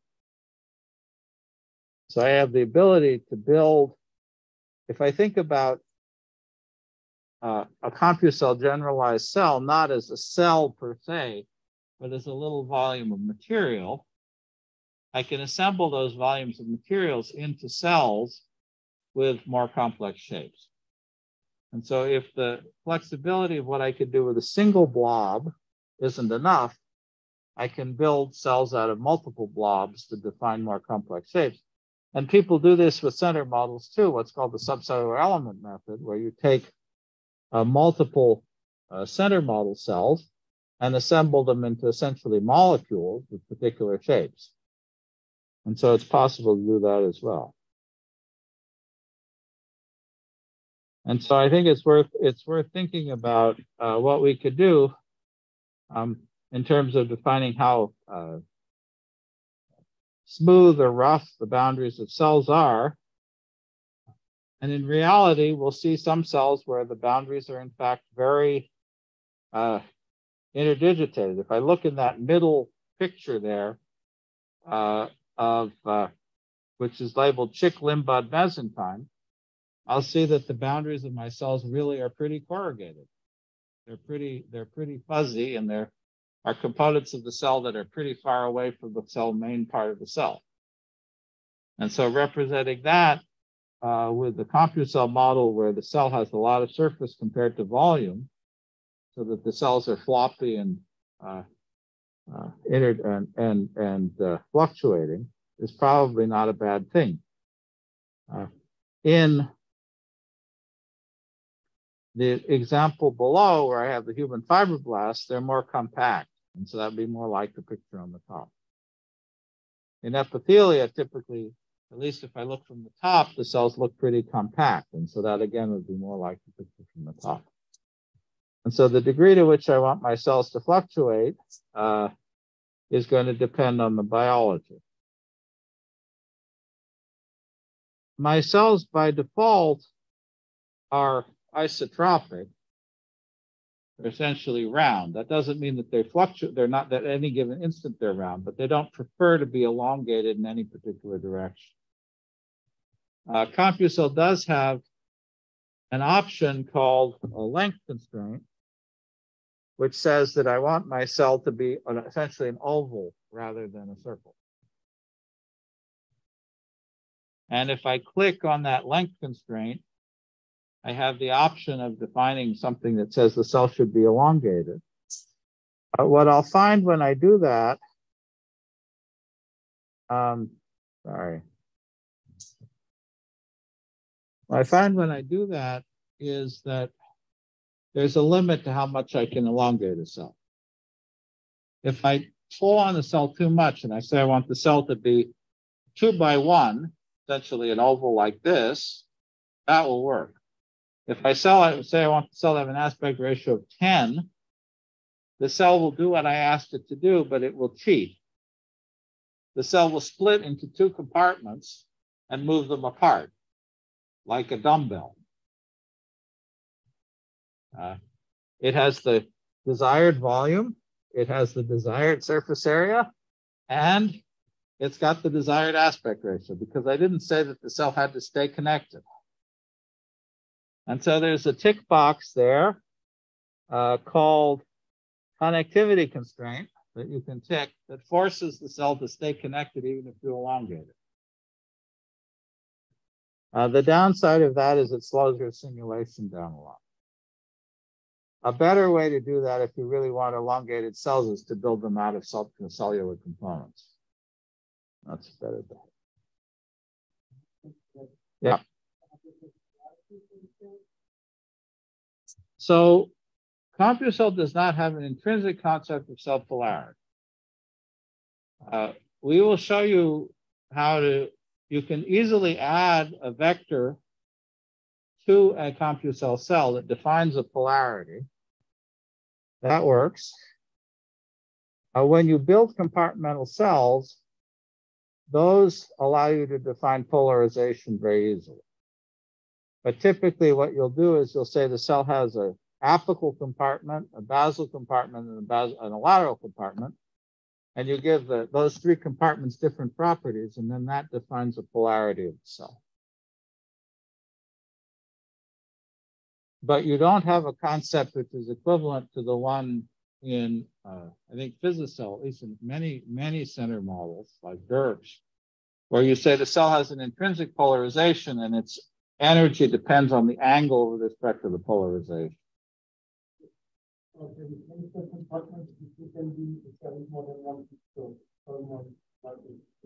I define so so so my cell at the moment, all voxels inside my cell are the same. I could say that my cell is composed of sub cell subcompartments A, B, and C, each one of which have different properties. And I, I've shown you simulations that use that quite a bit, but I, we didn't go into the details yet. Um, if I have a cell that crawls uh, in three dimensions, I might define a nuclear compartment that stays rather round and rigid, a cytoplasmic compartment that's floppy, and a lamellipodium compartment that likes to stick to my substrate and extend.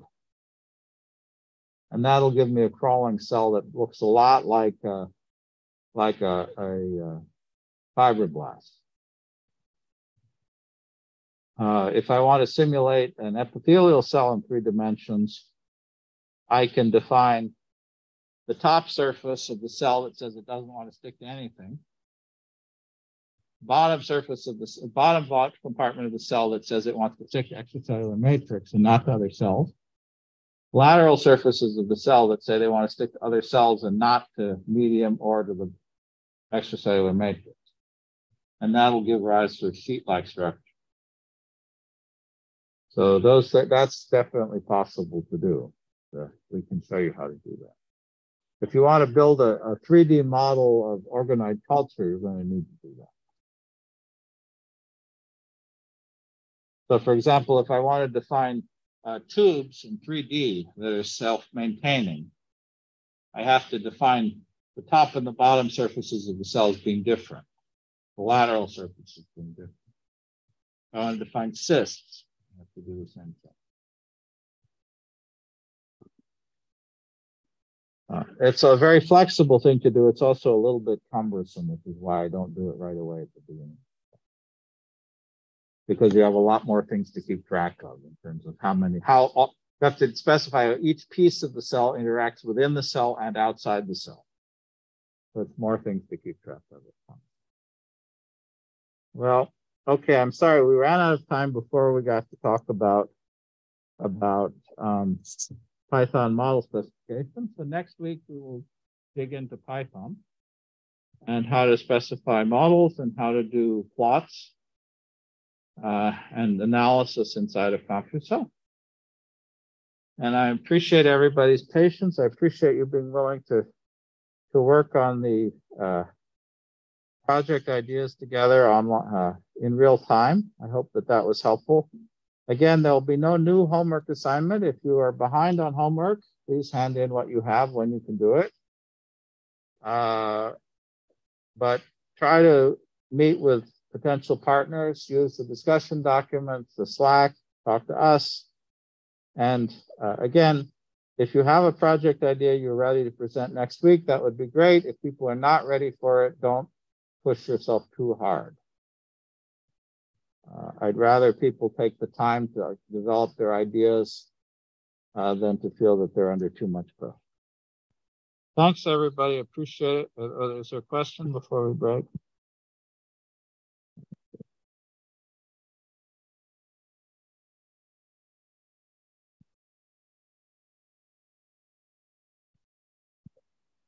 Okay, thank you, everyone. Good night.